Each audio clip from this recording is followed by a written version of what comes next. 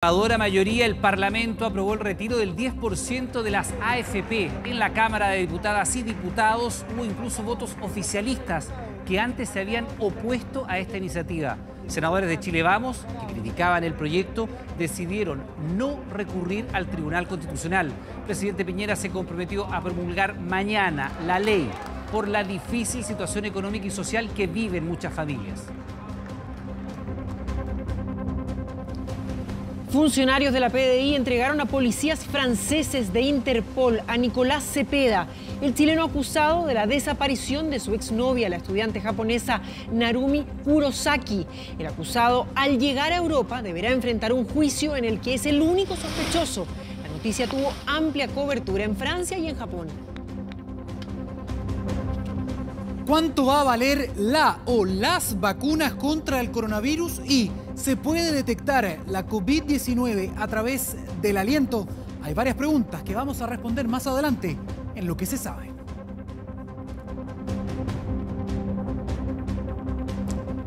Ministro de Salud Enrique París anticipó que las clasificatorias sudamericanas para Qatar 2022 se podrían jugar en otro continente por, claro, culpa del COVID-19. ¿Será así?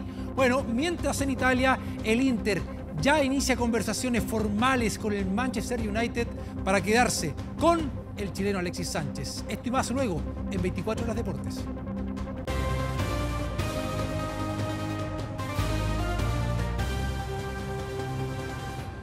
¿Qué tal? ¿Cómo están? Buenas noches, bienvenido a la revisión de las noticias en esta jornada que ha sido calificado por muchos como histórica porque con un respaldo contundente, fuera de todo pronóstico, se aprobó en la Cámara de Diputados el proyecto que permitirá retirar el 10% de las FAFP. 116 votos a favor tuvo esta iniciativa, 35 de ellos pertenecientes a Chile Vamos, lo que permitió lograr un quórum superior a los dos tercios de los diputados. Ministros presentes calificaron este hecho como una derrota política y solicitaron dar vuelta la página. La moneda anunció que este viernes se va a promulgar la controvertida ley. Esta es la votación clave. Estos son los minutos decisivos aquí en la Cámara de Diputados. Aquí se puede marcar la historia de este proyecto de ley. Resultado de la votación. Resultado de la votación. Por la afirmativa, 116 votos, 28 en contra, 5 abstenciones. Aprobado. 116 votos a favor, 28 en contra y 5 abstenciones. Abrumadora mayoría que permitió despachar a ley el proyecto que permitirá retirar el 10% de los fondos de las AFP. El paso que faltaba luego que el Senado, pasada la medianoche de este jueves, le diera el respaldo que en esta jornada confirmó la Cámara de Diputados y Diputadas. Que aquí estamos, haciendo historia. Es un triunfo del pueblo de Chile.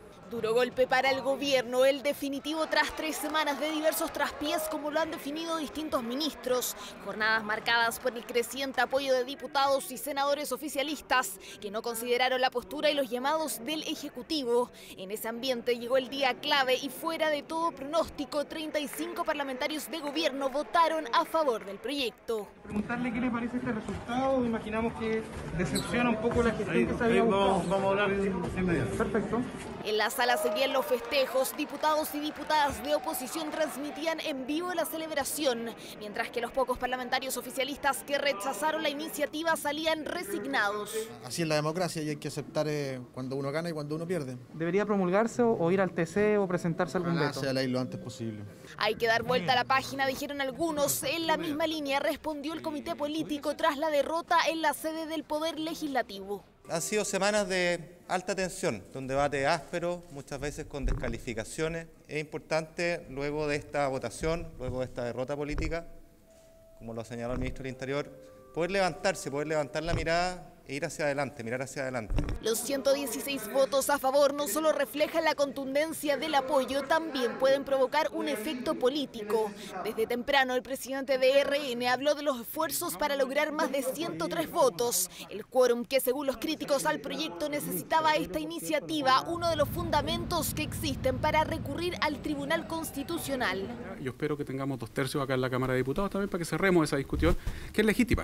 Yo creo que hay que cerrar esa discusión para que nadie dude de que este proyecto contó con los votos necesarios para una reforma de este tipo. Lo expresado por Desbordes se logró ampliamente, lo que se apreció en la sala porque de los 28 votos oficialistas en contra, solo dos diputados intervinieron y justificaron su postura. La mayoría de las intervenciones fueron solicitadas por la oposición, quienes criticaron, según dijeron, la tardía respuesta del gobierno para ir en ayuda de la clase media, producto de la crisis de la pandemia.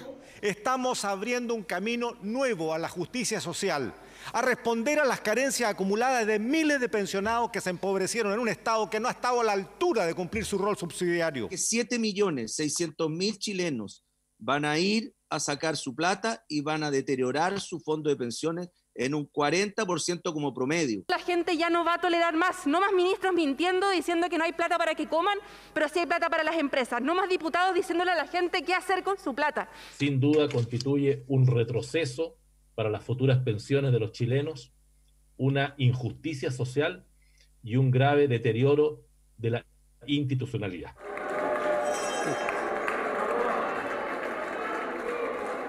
Celebración de un proyecto que ha generado recriminaciones y pugnas al interior del oficialismo. Por eso hasta después de su aprobación en sala las dudas persistían sobre la posibilidad que algunos parlamentarios de Chile Vamos recurrieran al Tribunal Constitucional. Pasados los minutos esa opción se descartó.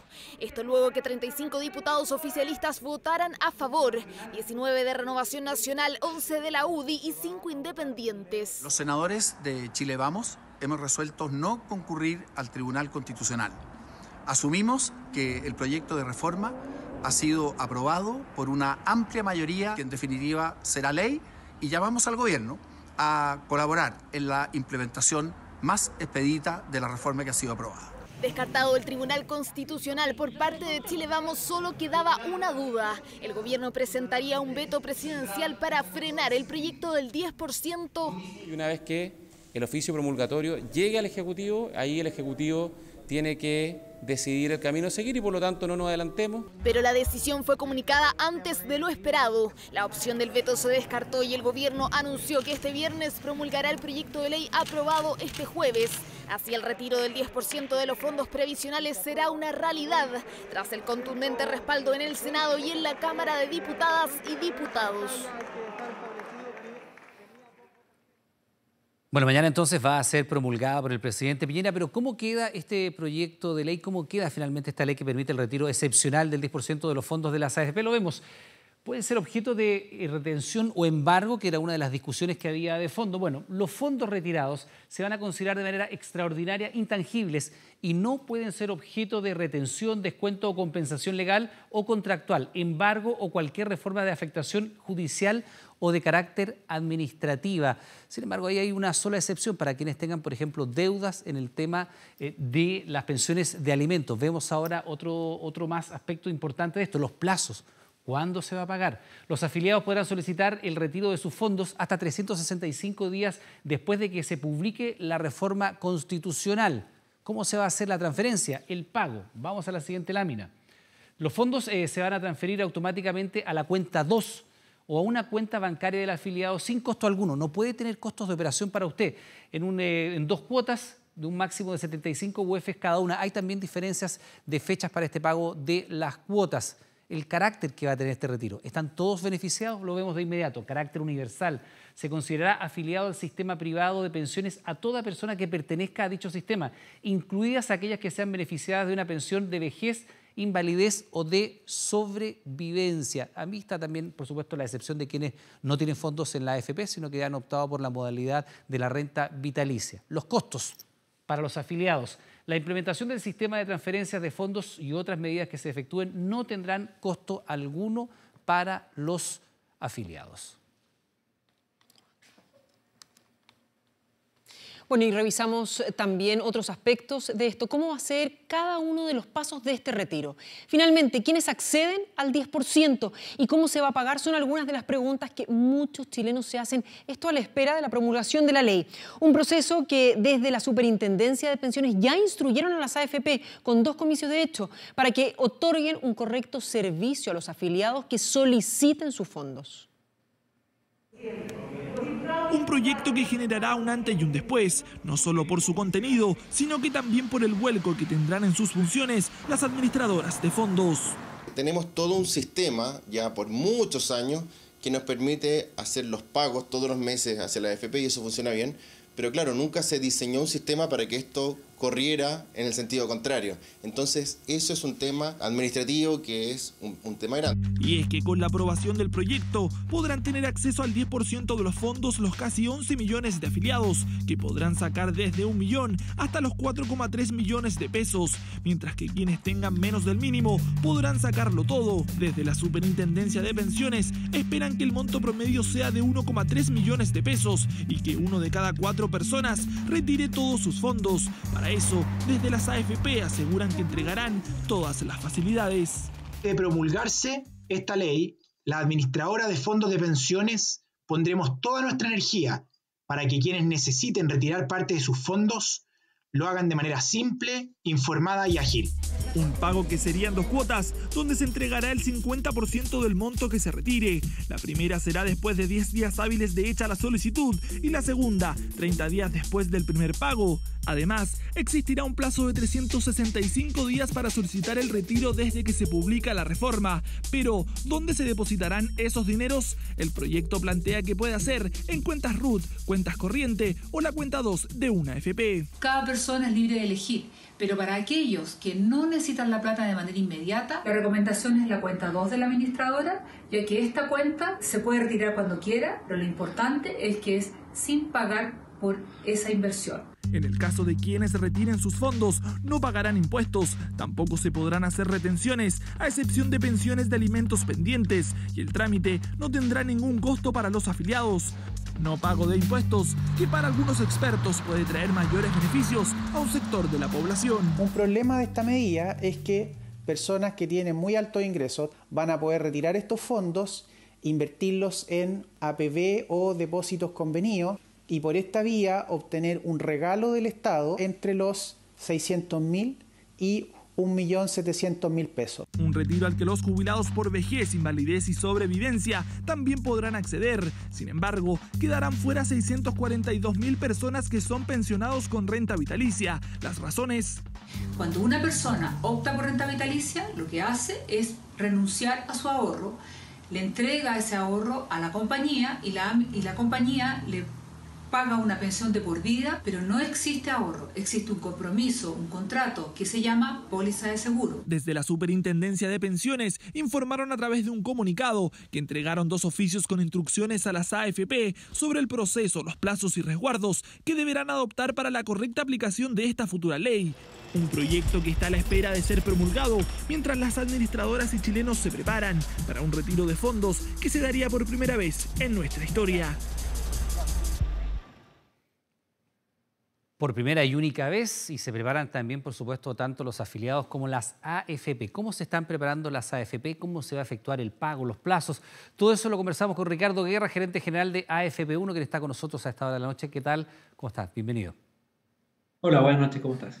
Eh, bien, gracias Ricardo. Lo primero preguntarle, bueno, ¿cómo se están preparando ustedes en lo particular como AFP para el retiro de estos fondos y qué estimación tienen ustedes de cuántos serían los afiliados en el caso de AFP1 que van a solicitar este 10%? Sí, mira, en primer lugar quisiera decir que estamos muy contentos por la celeridad con la que ya se va a promulgar esta ley. Esto es algo que nosotros en AFP1 eh, eh, estábamos proponiendo desde marzo eh, y creemos que esto va a venir en ayuda de muchas familias que lo han pasado muy mal y que la ayuda no ha llegado. Nosotros venimos trabajando desde hace varias semanas preparando todos los canales y también nuestro back office para poder procesar todos estos, todas estas solicitudes de retiro eh, y, quiero aprovechar de hacer un llamado a toda la gente para que también eh, vaya preparando todo lo que necesita. Primero, eh, que tenga sus claves de acceso para que pueda ir consultando el, saldo que tiene en su cuenta y por lo tanto cuánto monto puede retirar. En segundo lugar, que la gente tenga disponible una cuenta, una cuenta RUT, una cuenta bancaria, porque eso básicamente facilita mucho el retiro y sobre todo lo hace digital. Eh, que es muy importante porque no nos podemos olvidar que todavía estamos en pandemia eh, eh, y, ante ese escenario tenemos que cuidar la salud de todos los chilenos. Son 11 millones de chilenos los que pueden ir a las calles a, ir a retirar su monto y eso sería muy peligroso para la salud de todos los ciudadanos. Ricardo, entonces, lo primero, la gente para hacer la solicitud tiene que tener la, la clave de su cuenta, naturalmente, y tener además una cuenta eh, root o una cuenta bancaria. ¿Se hace a través de correo electrónico esta solicitud y ustedes tienen una estimación de cuánta gente, en el caso de ustedes, va a solicitar este 10%? Nosotros tenemos ya, hemos llegado en torno a los 200.000 eh, clientes en FP1 y nosotros creemos que una gran mayoría va a solicitar ese retiro porque muchos de nuestros clientes son trabajadores por primera vez, eh, eh, donde típicamente eso es un, son trabajadores de, mucho esfuerzo y que lo han pasado muy mal con esta pandemia y nosotros esperamos que la, gran mayoría de ellos vayan a, solicitar su retiro. Ahora, Para solicitar su retiro, ¿sí? necesitan, no necesitan la clave de acceso a la web, eso, eso es muy importante pero sí, pero sí, si quieren ir viendo ahora sus saldos y si quieren ver cuánto pueden retirar, ahora pueden ir en este momento a las páginas web y con su clave eh, mirar ese número. Pero para retirar el monto, cuando ya parta el, proceso de retiro, de, solicitud de retiro, cuando se haga la solicitud no va a ser necesaria la clave porque queremos hacer de esto de la forma más expedita posible. Ahora, Ricardo, evidentemente hay plazos, y los hemos estado explicando, eh, para las personas que vayan a tirar el tope, que son 4.300.000 pesos más menos, va a ser en dos pagos de 75 UEFs, con una diferencia de 30 días hábiles entre el primero y el segundo. Eh, yo me imagino que ustedes, como, eh, como empresa, al igual que las otras AFP, se están preparando para vender activos, porque esto los tiene que tener con liquidez. Normalmente el dinero de los afiliados no está en bóvedas guardados, está en instrumentos que las AFP comercializan, venden y compran en el extranjero. ¿Cómo está haciendo ese proceso ustedes y cuánto tiempo creen se van a demorar para transformar esos papeles, esos instrumentos de mercado en dinero para entregárselo a los cotizantes? Miren, nosotros, en primer lugar, yo creo que es muy importante que la gente entienda que, los, instrumentos, como tú bien eh, mencionaste, están invertidos pero están, o sea, eso, son ahorros de todos los chilenos y que están. Eso en primer lugar es muy importante que la gente entienda, eh, eh, porque hay mucho mito al respecto. En segundo lugar, un gran porcentaje de esos montos están invertidos en los mercados internacionales, donde hay mucha liquidez y donde nosotros no vamos a afectar el precio, por lo tanto ahí no va a haber problema de, de, liquidación de esos, O sea, ahí no, no es una preocupación.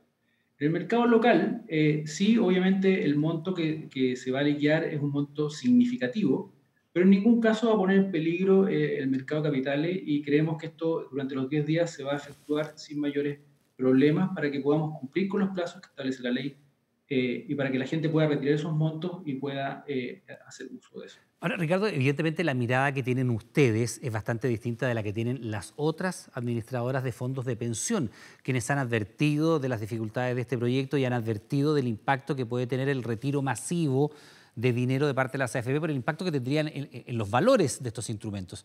¿Hay una estimación de qué va a pasar en el mercado de valores? Porque son más o menos 19 mil millones de dólares que tendrían que salir a venderse en instrumentos para transformarlo eso en dinero y entregárselo a los cotizantes. Mira, nosotros no somos parte de la asociación gremial y desde que, desde que eh, abrimos nuestra operación el 1 de octubre del año pasado, siempre hemos planteado una mirada crítica respecto al sistema y todas las cosas que necesitan mejorar. Eh, y, también siempre hemos planteado que, un retiro eh, parcial, acotado y excepcional de los fondos para esta pandemia eh, creíamos que era, que era, necesario para ir en ayuda a las familias donde la ayuda no está llegando.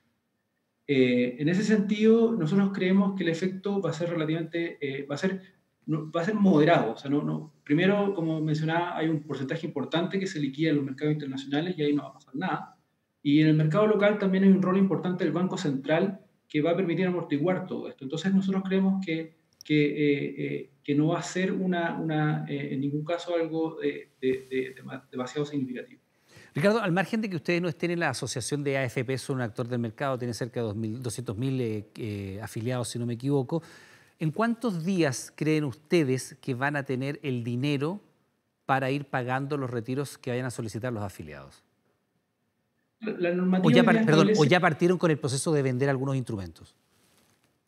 No, o sea, nosotros estamos, el equipo, nuestro equipo ya se está preparando para, para esto, eh, eh, eh, para estar de la, mejor forma para este proceso.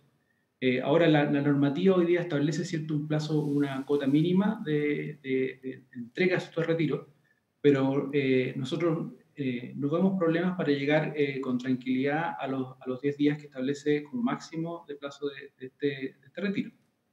Bien, pues Ricardo Guerra, gerente general de FP1, le damos las gracias por estar junto a nosotros en 24 horas. Que tenga buenas noches. Muchas gracias. Ya se lo hemos dicho, la ley que permitirá el retiro de este 10% de los fondos de pensiones será promulgada este viernes por el presidente Piñera. El contundente apoyo que recibió el proyecto obligó al gobierno a desestimar un veto o recurrir al Tribunal Constitucional. Sin embargo, el comité político quedó cuestionado por el rol que jugó en la tramitación y las críticas no se hicieron esperar un presidente que encabezó las negociaciones y un comité político que se desplegó sin resultados.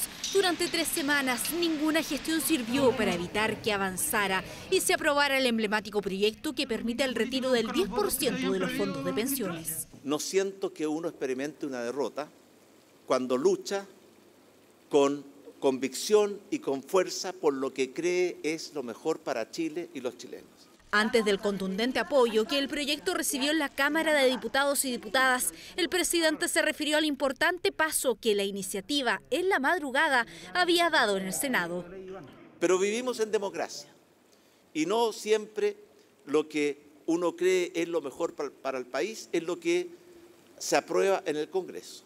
A esa hora se le consultó por su comité político, equipo ministerial que ha sufrido modificaciones desde el estallido social de octubre. En junio se integraron reconocidas figuras de RN y la UDI. Aún así, los vínculos no sirvieron y en el revés sufrido, los respaldos oficialistas fueron fundamentales. Esto, desde la perspectiva nuestra, ha sido un traspié muy importante, lo hemos dicho desde el comienzo, lo reconocemos así y creo que tenemos que como coalición y como gobierno dar vuelta a la página. Tras la derrota el gobierno tenía tres opciones, dos de ellas que habrían dilatado el proceso, acudir al TC o vetar fueron descartadas durante la tarde. El respaldo que recibió la iniciativa los llevó a adoptar la decisión de promulgar la ley en tiempo récord, lo que ocurrirá este viernes 24 de julio.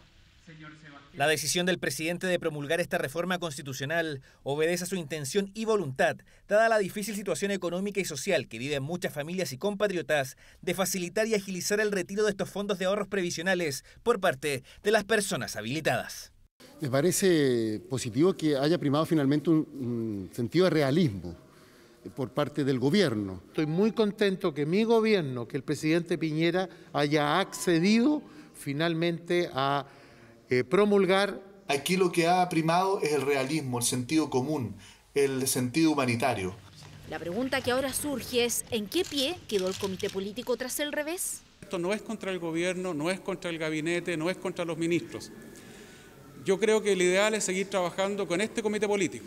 Aquí no hay falta de conducción como algunos han querido decir, eso es eh, falso. Obviamente el comité político queda sin margen de acción sin piso político. Pero al final la responsabilidad es del presidente de la República. Pero las críticas no vienen solo desde la oposición. El debate sobre las responsabilidades frente a una de las mayores derrotas políticas del gobierno ocurrieron en Chile Vamos. Yo creo que los ministros fallaron la prueba eh, y se requiere efectivamente eh, mejoramiento de la conducción política, que a lo menos debe ser un cambio de actitud para involucrarse tempranamente en los proyectos de ley. Para nadie es una sorpresa que estamos pasando por momentos difíciles eh, en términos del manejo político. Eh, yo no soy nadie para ver un cambio, pero obviamente que tiene que haber un cambio de actitud. Ministro, en buen chileno, ¿esto fue una derrota para la moneda?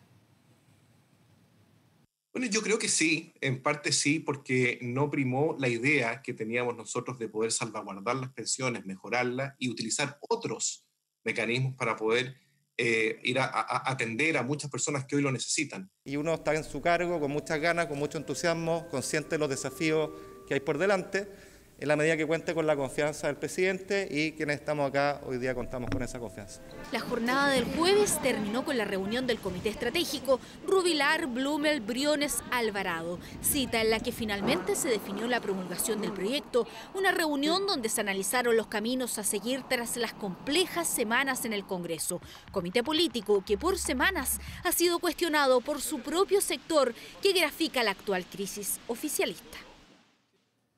Bueno, tras la aprobación de la ley que permite el retiro del 10% de los ahorros previsionales, ya se están evaluando los efectos que va a tener esto sobre la economía.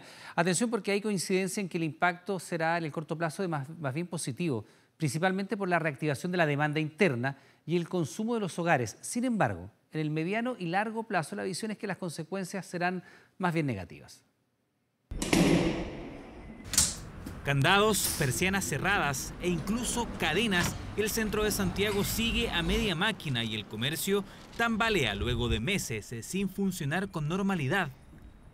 Pero un inesperado aliado podría tender una mano. Eso es mi fondo y ahorita se necesita en esta situación. De todas maneras, lo voy a sacar. A mí me vendía súper, pero en este momento hay que aferrarse a algo. Si lo necesito, lo voy a sacar. El retiro del 10% de los ahorros previsionales tendría impacto positivo para la alicaída economía nacional. En el fondo estás sacando una cuenta de ahorro para destinarlo a consumo. En el corto plazo, sin duda, esto es positivo por el lado del consumo. Tenemos todavía bastantes dificultades para saber cuánto va a ser. Difícil calcular porque dependerá de qué hagan los chilenos con ese dinero. Cosas de salud, cosas de importantes que he tenido que dejar porque no alcanza. Que la mayoría las deudas. Las deudas nos tienen mal a todos. El banco, por ejemplo, el banco lo más que se lleva, ya en el caso mío de arriendo. Lo usaría para cubrir parte del arriendo y eso básicamente, para cubrir todo lo básico. Para comer en realidad, para, para las compras del supermercado, que uno gasta más ahora que está en la casa.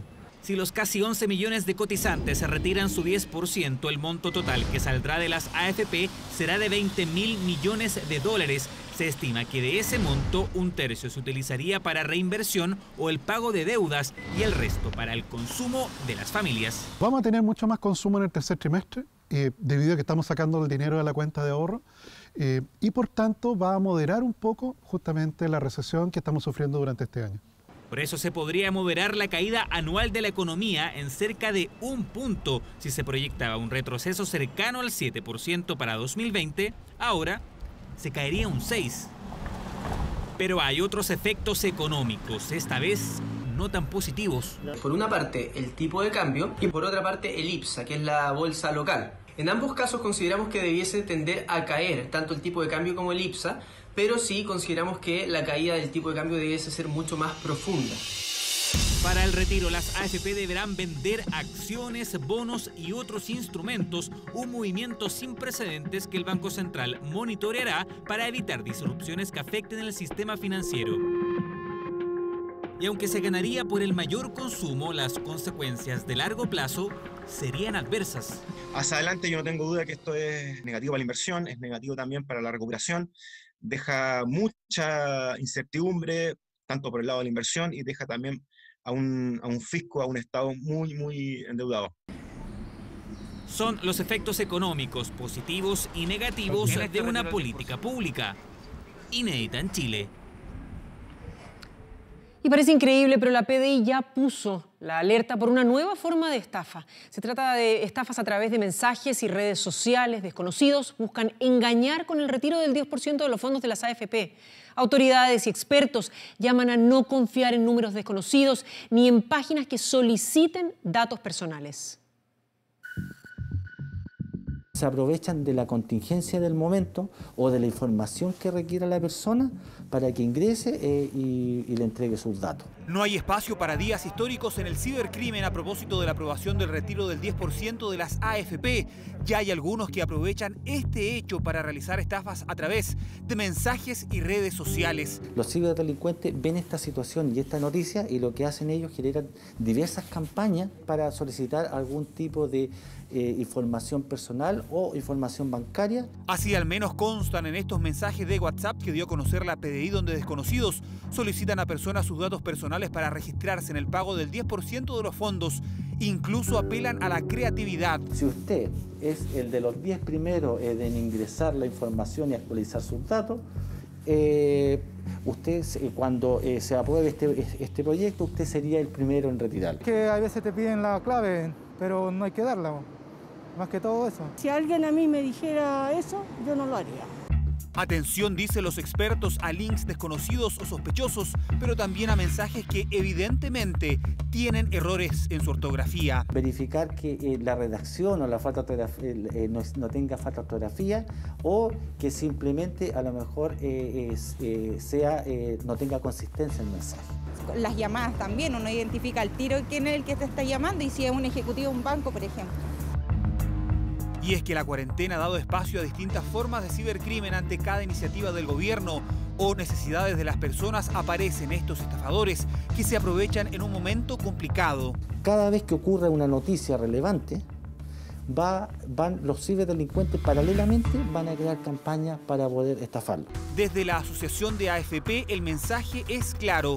Jamás solicitarán a través de correos electrónicos o llamados telefónicos las claves e información personal de los afiliados al sistema de pensiones. La iniciativa del retiro de fondos ha generado diversas reacciones y también acciones. Mucho ojo con este tipo de mensajes y correos que son parte de una nueva forma de estar.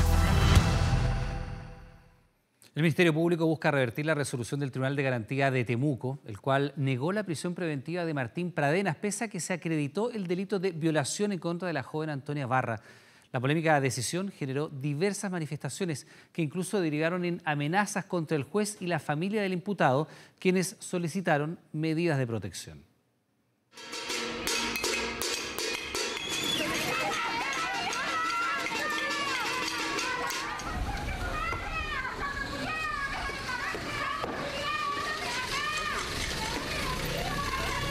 Que haya esta funa ya está bien, pero lo que no, no apoyo es la violencia. Eso que vengan a quebrar los vidrios yo creo que no corresponde.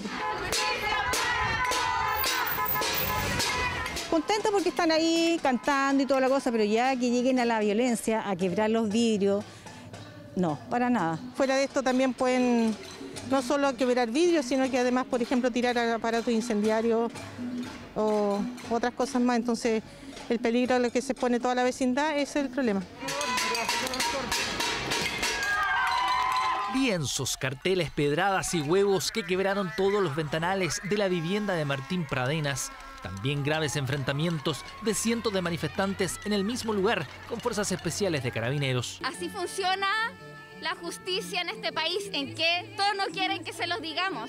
Es una justicia patriarcal que defiende al hombre porque está hecha por hombres.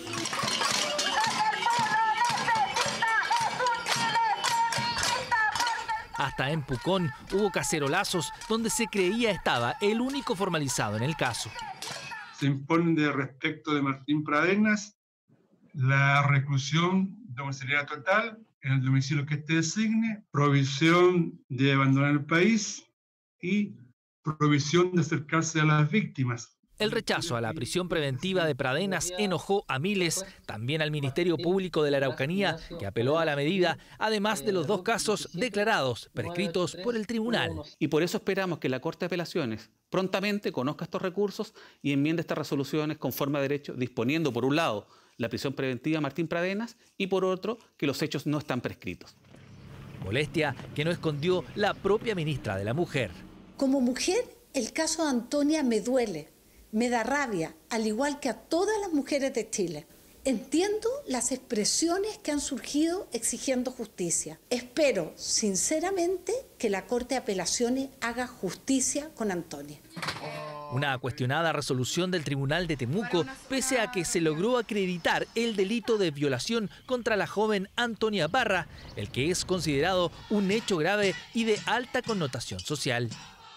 A mi juicio, esa resolución también es equivocada por cuanto desatiende el tenor literal de la ley que establece requisitos para decretar la prisión preventiva por peligro para la seguridad de la sociedad, entre ellos, por ejemplo, la gravedad de la pena y el carácter del delito. ¿Qué más terrible puede ser para un padre perder a su hija? Ese es el mal mayor provocado por la violación de este imputado. Por lo tanto, debiera tener la prisión preventiva. Es lo que hemos solicitado. Repercusiones de un caso que incluso ha derivado en hostigamientos a quienes han participado en el proceso penal, incluidas amenazas a dos de los testigos de la causa, a familiares del imputado y al propio juez que decretó las cuestionadas medidas cautelares. La primera de ellas se inició de oficio por eh, publicaciones que existían en redes sociales y que hacían público el domicilio del juez de garantía Federico Gutiérrez y la segunda en razón de una denuncia efectuada por el padre del imputado Martín Pradenas, quien señaló haber recibido amenazas vía WhatsApp. Todos están con protección policial, al igual que la vivienda de Martín Pradenas. Este viernes, la Corte de Temuco se pronuncia sobre la apelación de los creyentes y la Fiscalía, polémica que no quiso comentar la defensa del imputado. Y ya lo veíamos, esta serie de manifestaciones que se produjeron a lo largo del país, pero ojo, no solamente acá, incluso en el extranjero, tras el rechazo de la prisión preventiva de Martín Pradenas. Organizaciones feministas insisten en que la legislación no está acorde a los tiempos.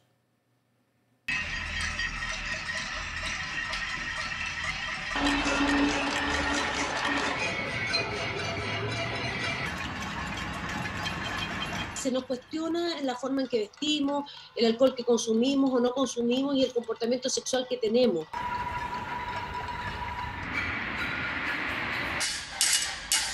Lo que está en juego es la justicia, es la igualdad, es la solidaridad.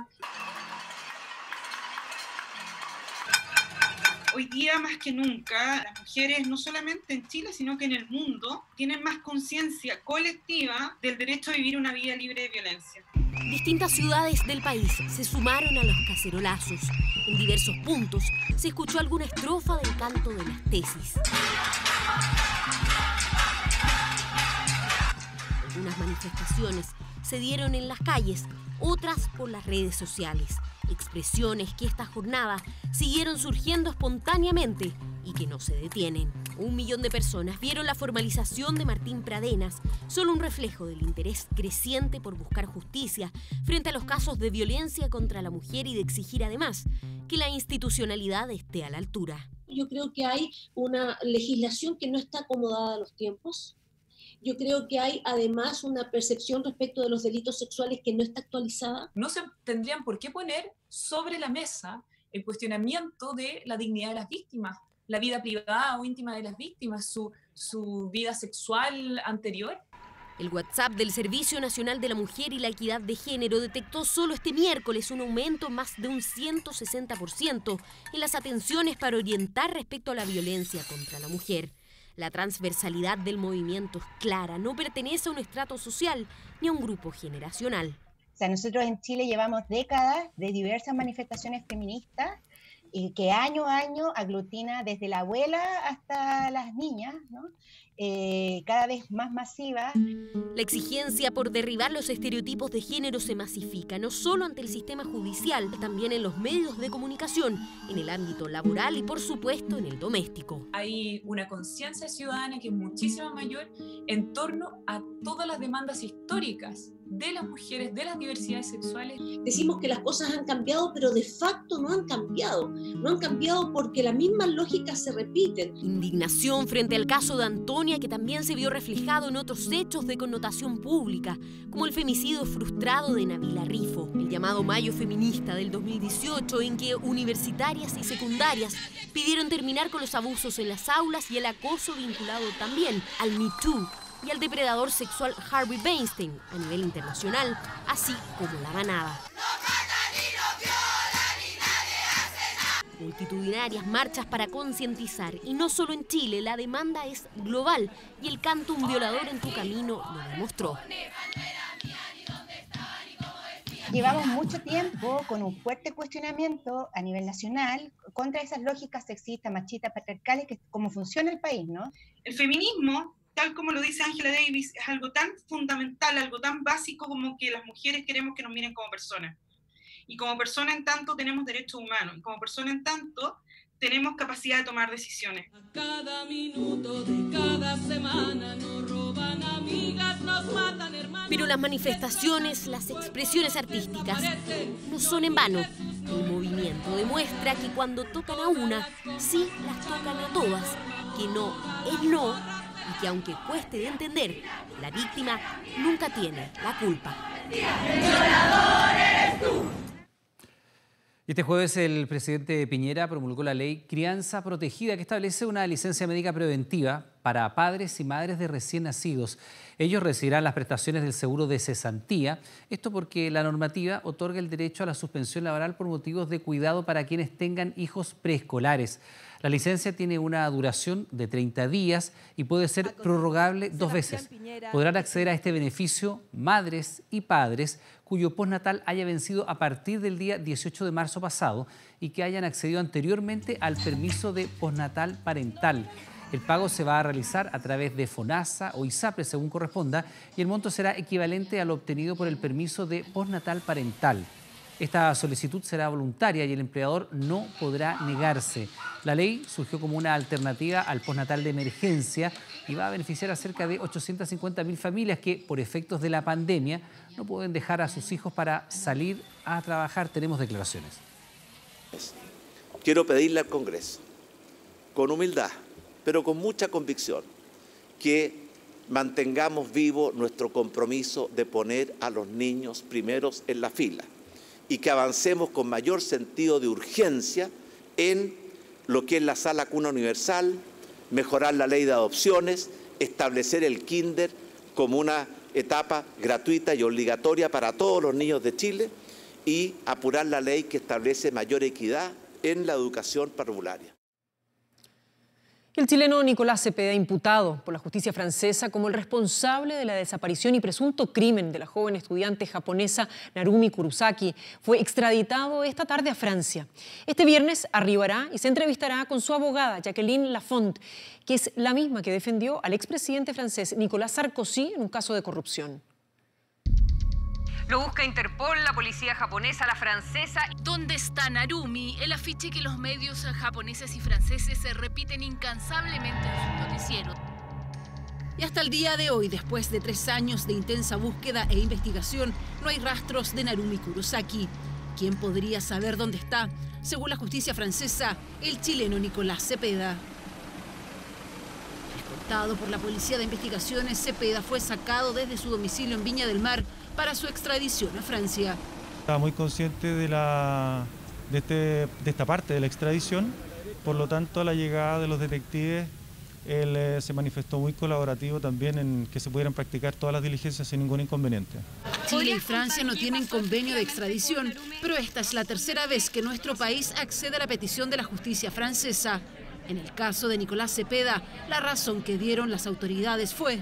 Que hay antecedentes que son suficientemente serios, graves y concordantes, que se puede presumir que en Chile se deduciría una acusación contra el imputado, es posible entonces conceder la extradición. Esos antecedentes son los expuestos por la justicia francesa y que dicen relación con que el día que la joven japonesa Narumi Kurosaki, de 21 años, se reunió el 4 de diciembre de 2016 con el chileno Nicolás Cepeda, cenaron en un local de Ornans cerca de Benzazón para luego llegar a la residencia estudiantil, donde durante la madrugada testigos escucharon gritos desgarradores de una mujer.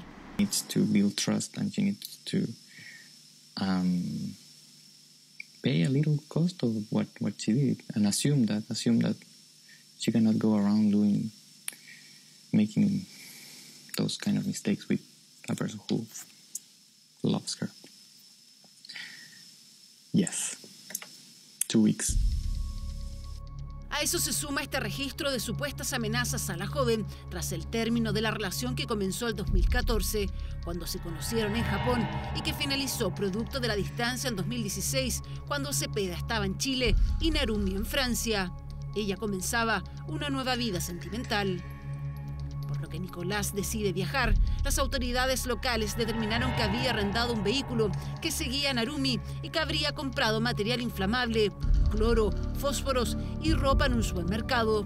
Además, recorrió una zona boscosa cercana a Benzazón. ¿Qué hizo allí? La madrugada del 5 de diciembre volvió a ese lugar. Dos días después, Cepeda abandonó Francia.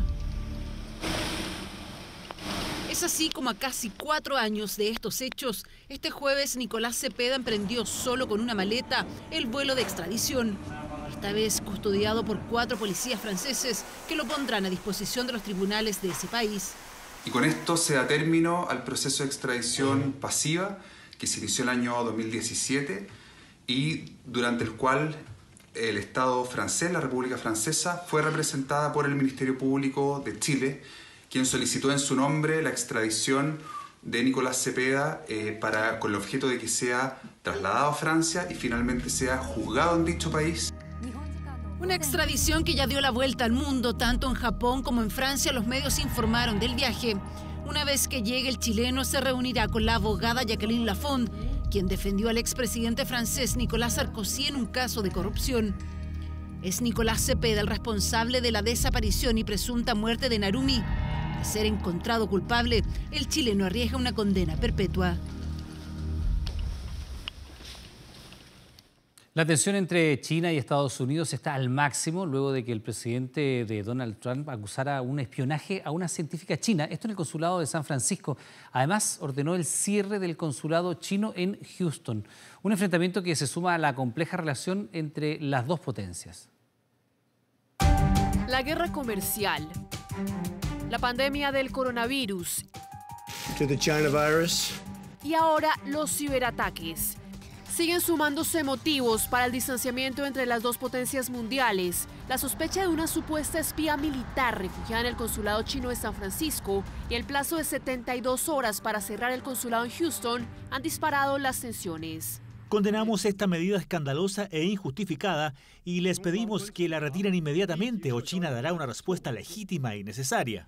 El incendio diplomático se tradujo en verdaderas llamas al interior del consulado, que fueron registradas por videos caseros y medios locales, en los que se ve a funcionarios quemando papeles en el patio, lo que provocó la llegada de bomberos a los que no se les permitió el ingreso. En cuanto al cierre de embajadas adicionales, siempre es posible.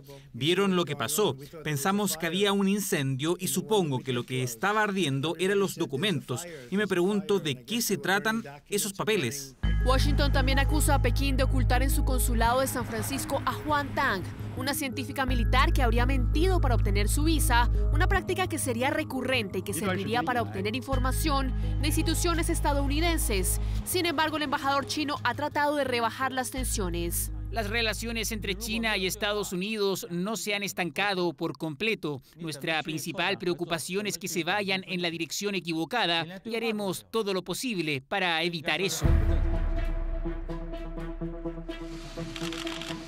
La bofetada diplomática al gobierno de Trump a Xi Jinping se dio horas después de que el Departamento de Justicia acusara a dos ciudadanos chinos de hackear a contratistas de defensa y también a investigadores de la vacuna contra el coronavirus. Sin embargo, expertos coinciden en que a menos de 100 días de las elecciones en Estados Unidos, el presidente Donald Trump necesita generar este tipo de enfrentamientos para mantener su base de votantes. Bueno, Trump ha construido su plataforma político-electoral poniendo a China como una suerte de chivo expiatorio de varias cosas. Por un lado, sería un país que le quita empleo a los norteamericanos. Por otro lado, es un país desde el cual se origina la pandemia. Y la visión del ciudadano americano hacia China es mayor, mayormente negativa. Por lo tanto, Trump ve este enfrentamiento con China como una opción para intentar fortalecer su candidatura de cara a las elecciones. La gestión de la pandemia ha sido el principal foco de las acusaciones de Estados Unidos, que empezó polemizando sobre el origen del COVID-19 y terminó quitándole los fondos a la Organización Mundial de la Salud, a la que acusó de respaldar la falta de transparencia de China en medio de la emergencia sanitaria, que ya deja casi 620 mil muertos a nivel mundial.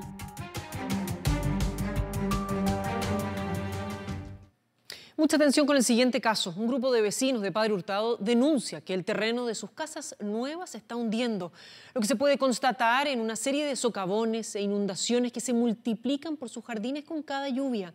No llevan ni siquiera seis meses viviendo ahí. Ahora buscan responsabilidades cuando temen que los daños puedan ser irreparables.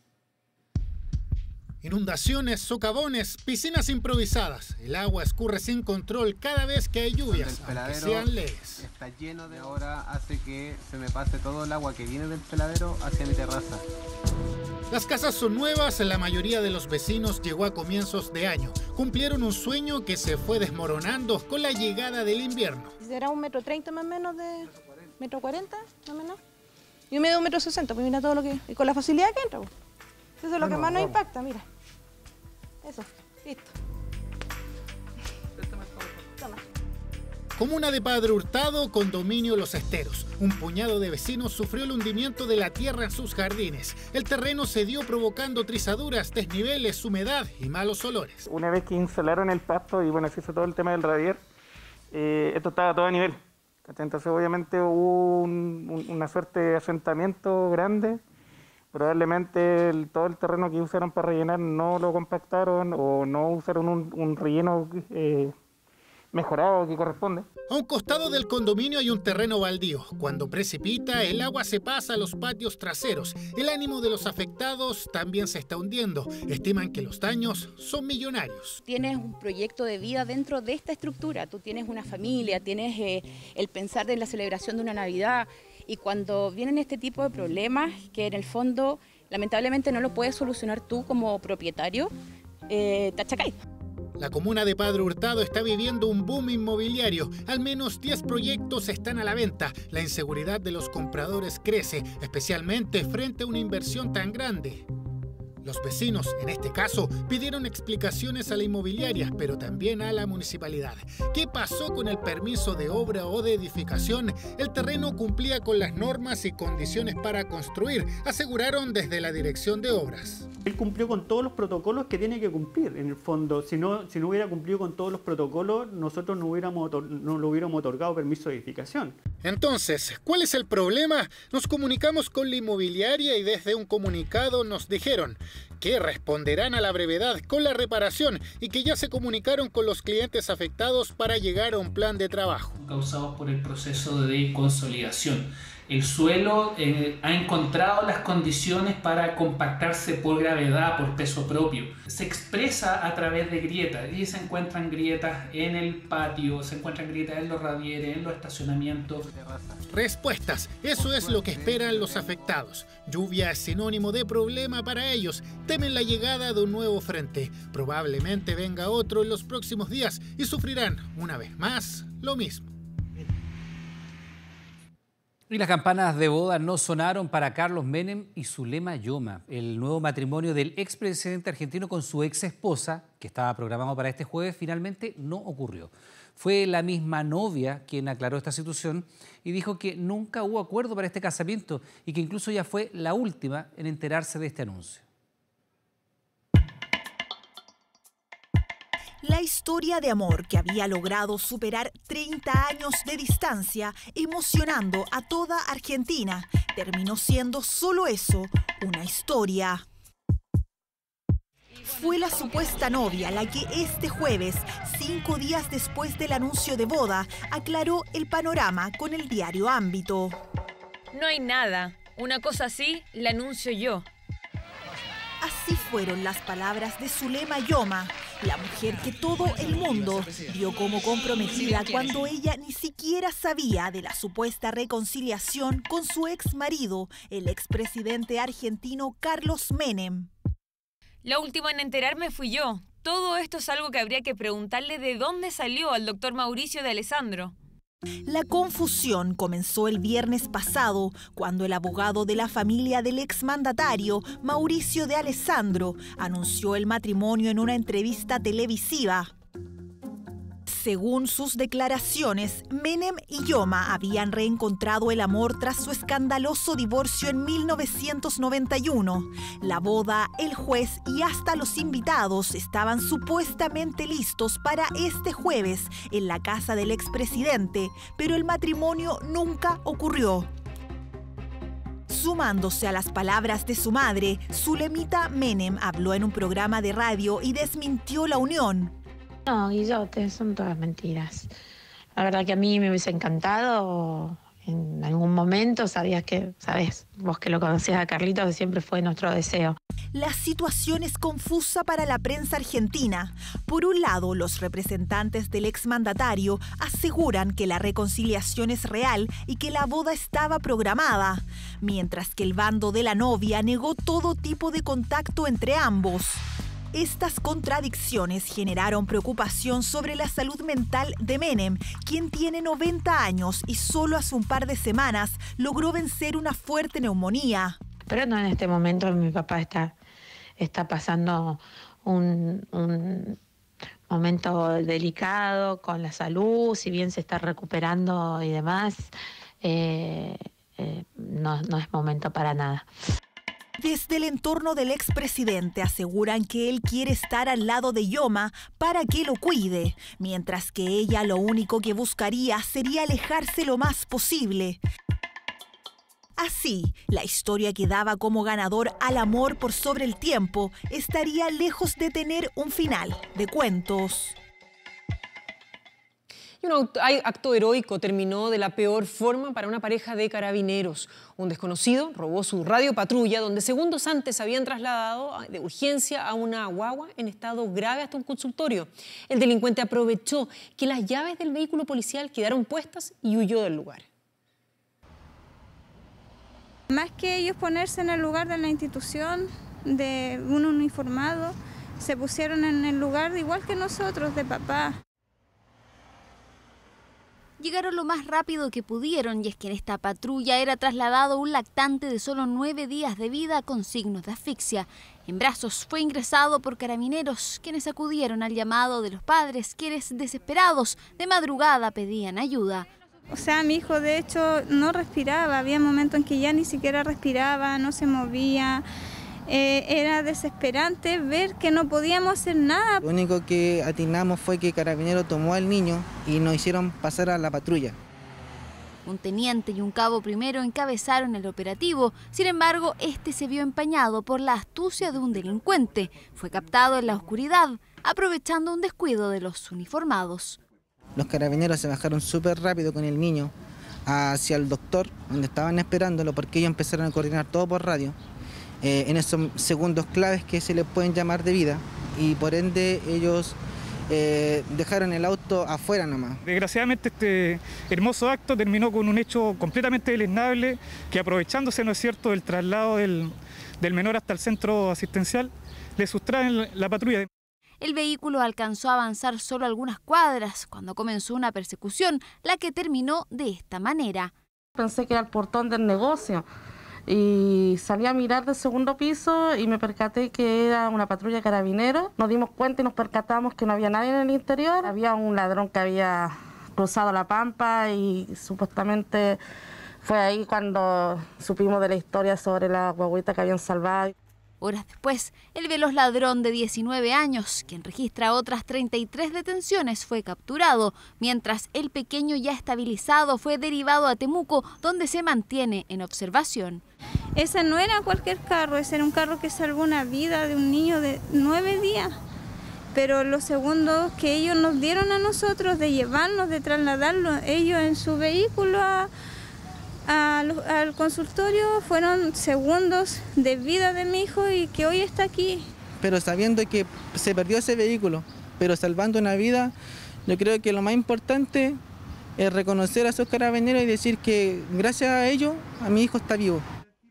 Valioso pero accidentado acto, una urgencia que por salvar la vida del pequeño Benjamín derivó en un sumario y el que estos agradecidos padres esperan no finalice con sanciones en contra de los dos funcionarios, para ellos unos héroes. Atención con lo siguiente porque la aduana retuvo en el puerto de San Antonio casi 10.000 pastillas provenientes de China. Se trata de una nueva internación de contrabando de supuestos remedios milagrosos contra el COVID-19, un peligro que mantiene a las autoridades bajo alerta. Dicen que son productos médicos milagrosos contra el COVID y están en Chile. Preguntamos en la calle cuán abiertos estamos a consumirlos. Algunos se niegan. Creo que es una actitud irresponsable por parte de nosotros ponernos a, a tomar cualquier medicamento, sea de cualquier índole. Otros se abren a probarlos. ¿Cómo vamos? Yo creo que sí, porque ya estamos tan desesperados. Y hay quien nos cierra la puerta, pero pone condiciones. Si la pastilla está aprobada con todas las autorizaciones que corresponden a este tipo de pastillas, lo, lo probaría. Y es allí donde la magia de esta medicina milagrosa contra el COVID se desvanece, pues interviene la autoridad como anoche en el puerto de San Antonio con la incautación de 9.240 de las llamadas pastillas milagro, provenientes como contrabando desde China. Productos que estaban prometiendo milagrosamente ser útiles para el COVID-19. Uno de ellos, el Yanhua Qingwen Yaonan, traído de contrabando desde China en cajas de tarugos y tornillos, y otros dos, como un aceite ozonizado o una plata colidal, promocionados para eliminar cualquier virus y hasta para tratar el Alzheimer. Que no tenían ningún asidero científico Gracias a las alertas del Instituto de Salud Pública, estos supuestos medicamentos por ahora han dejado de ser ofrecidos en Internet. No obstante, el servicio de aduanas sigue atento y entre enero y junio ya ha incautado casi 700.000 unidades, entre las que también se incluyen dispositivos médicos sin autorización que ponen en serio riesgo la salud de las personas. En esta zona se realiza la revisión a través de máquinas de rayo X de todos los envíos que están en condiciones de ser despachados. Acá nosotros vamos separando la mercancía sospechosa para nosotros. Lo pasamos a la etapa de revisión física que consiste en la apertura del paquete. Por ejemplo, estos son termómetros. Se las retira, pues ahí salta la duda. Le sacamos la declaración a esa de los termómetros y te dice lápiz 3D. Vamos a realizar la apertura para comprobar si efectivamente corresponde a lo que viene en, su interior. efectivamente son, lápices. Aunque no importa, es la muestra de un trabajo incisivo que solo en la aduana metropolitana del aeropuerto de Santiago ha detectado 89 contrabandos de productos como test rápido de COVID-19 venían declarados como cajas plásticas, mascarillas también venían declaradas como cajas plásticas. Es el trabajo de aduana para impedir la entrada engañosa de productos que pueden resultar muy perjudiciales. El resto queda en manos de los propios consumidores, para quienes el llamado es claro adquirir solamente productos en establecimientos autorizados, en este caso farmacias. Porque la vacuna aún no existe y el gancho es peligroso cuando se habla de supuestos medicamentos milagrosos contra el coronavirus. Este mediodía, alrededor de 10 delincuentes protagonizaron una intensa balacera con un carabinero de civil y funcionarios de la PDI, todo esto en medio de un asalto a una sucursal bancaria en la comuna de Conchalí. El funcionario resultó lesionado, mientras que a esta hora se investiga si un herido atendido en una urgencia cercana se trataría o no de uno de estos asaltantes. Lo único que sentí balazos. Lo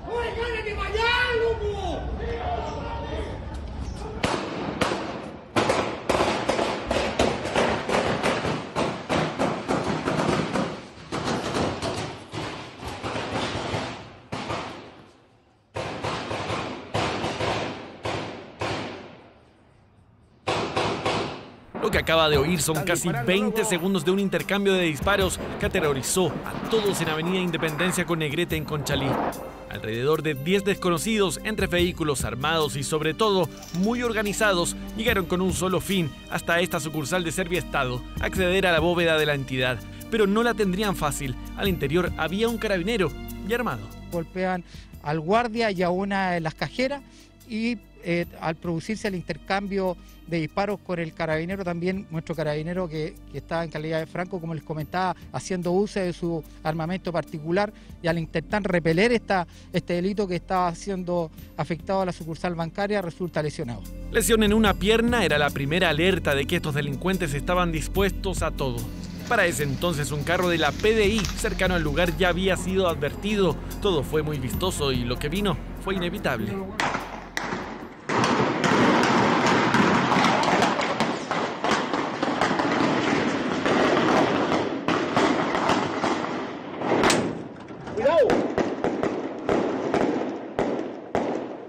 Se encuentran con 10 sujetos que van saliendo de esta sucursal, de esta entidad bancaria, armados, quienes eh, no dudan y, e inician inmediatamente una serie de disparos hacia el vehículo policial, eh, acción mediante la cual los, los oficiales eh, debieron repeler este ataque. Están disparando, loco. Tras esto, los sujetos se dieron a la fuga por distintas calles, abandonaron los autos y subieron a otro para escapar. Salió sangre en uno de ellos. Minutos después, la policía supo por qué. Ingresó uno de estos sujetos, eh, probablemente eh, involucrado directamente en este asalto, herido a bala en una de sus extremidades superiores. Eh, este sujeto mantiene antecedentes policiales por diversos delitos, entre ellos receptación y robo. El cabo primero Alexis Morales recibió un tiro en su tobillo y se encuentra fuera de riesgo. El vigilante del banco resultó con una lesión en la cabeza tras ser golpeado con la empuñadura de un arma. Increíblemente, pese a la gran cantidad de disparos, nadie más resultó lesionado. Las policías trabajan para dar con el paradero de los delincuentes, quienes finalmente habrían huido con un botín cercano a los 50 millones de pesos.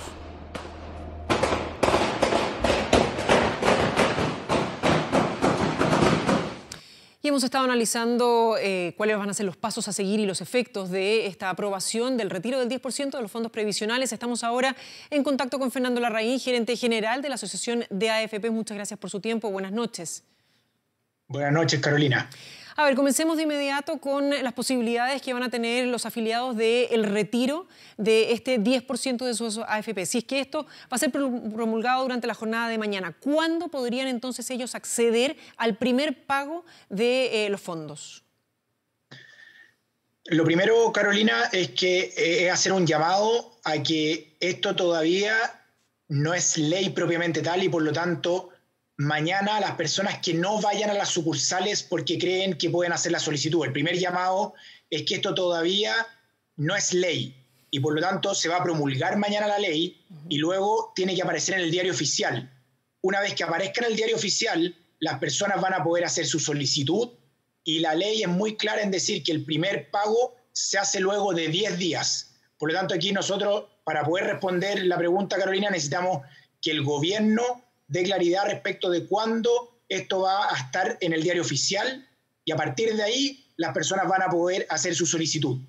Ya, a ver, pero pensemos en que si esto va a ser promulgado mañana, puede aparecer en el diario oficial el sábado, podríamos pensar que ya desde el, lunes a correr. Si eso es así, entonces a partir de ese momento, o el día lunes o el día martes o el miércoles, las personas van a poder hacer su solicitud y una vez hecha la solicitud, hay un plazo de 10 días en el cual las personas van a poder tener sus ingresos disponibles. Ya, vamos bien a lo práctico. ¿Cómo se debe hacer o a través de qué se debe hacer esta solicitud? Lo primero aquí también, Carolina, yo quiero hacer un llamado porque esto es una tarea titánica. Están las administradores de fondos de pensión trabajando día y noche y poniendo toda la energía para que este proceso salga bien. Pero también es importante reconocer que esto se está haciendo en un momento de pandemia. Por lo tanto, aquí hay un llamado a que las personas hagan, ojalá, todos estos requerimientos de manera digital.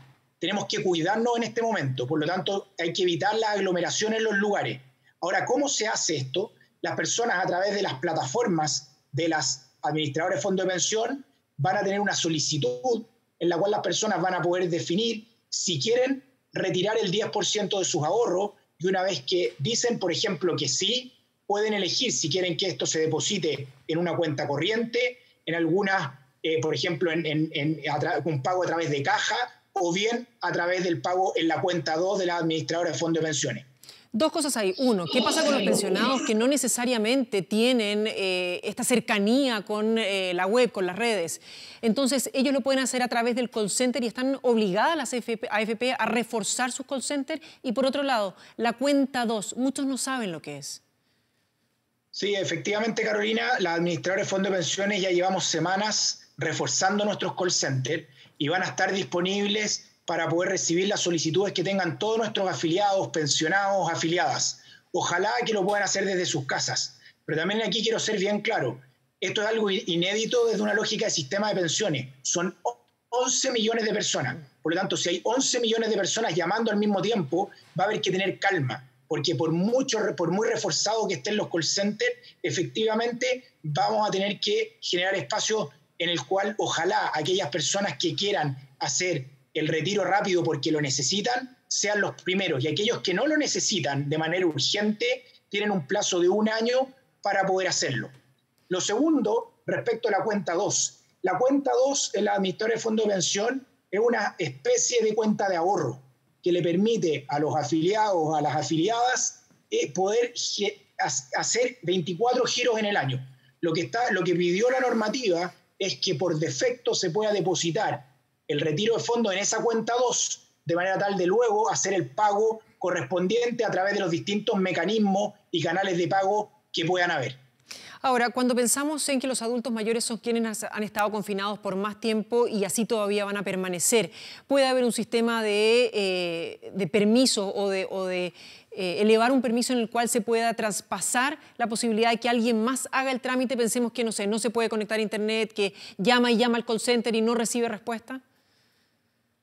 Yo creo aquí, Carolina, que tú pones un, punto que es muy importante eh, en el siguiente sentido acá al ser mucha gente y van a ser varios miles de millones de pesos, vamos a ver fraudes. Y ya estamos viendo que hay fraude respecto de esto, por lo tanto aquí hay un llamado de alerta también a la ciudadanía a que las administradoras de fondos de pensiones no le van a pedir directamente sus claves ni ninguna de esa información que es confidencial.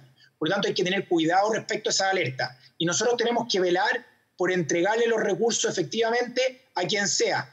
Respecto de los permisos en particular, yo creo que aquí hay dos temas. Hay un primer tema, que los permisos que se están entregando hoy día a través de la comisaría virtual son para otras funciones y vamos a tener que, se va a tener que analizar la manera en añadir quizá un permiso adicional para aquellas personas que necesiten hacer efectivamente este trámite de manera presencial. Y ahí hay un llamado al gobierno, a, a quienes están trabajando de forma coordinada y han hecho un esfuerzo por contener esta pandemia para hacer esto de la mejor manera posible.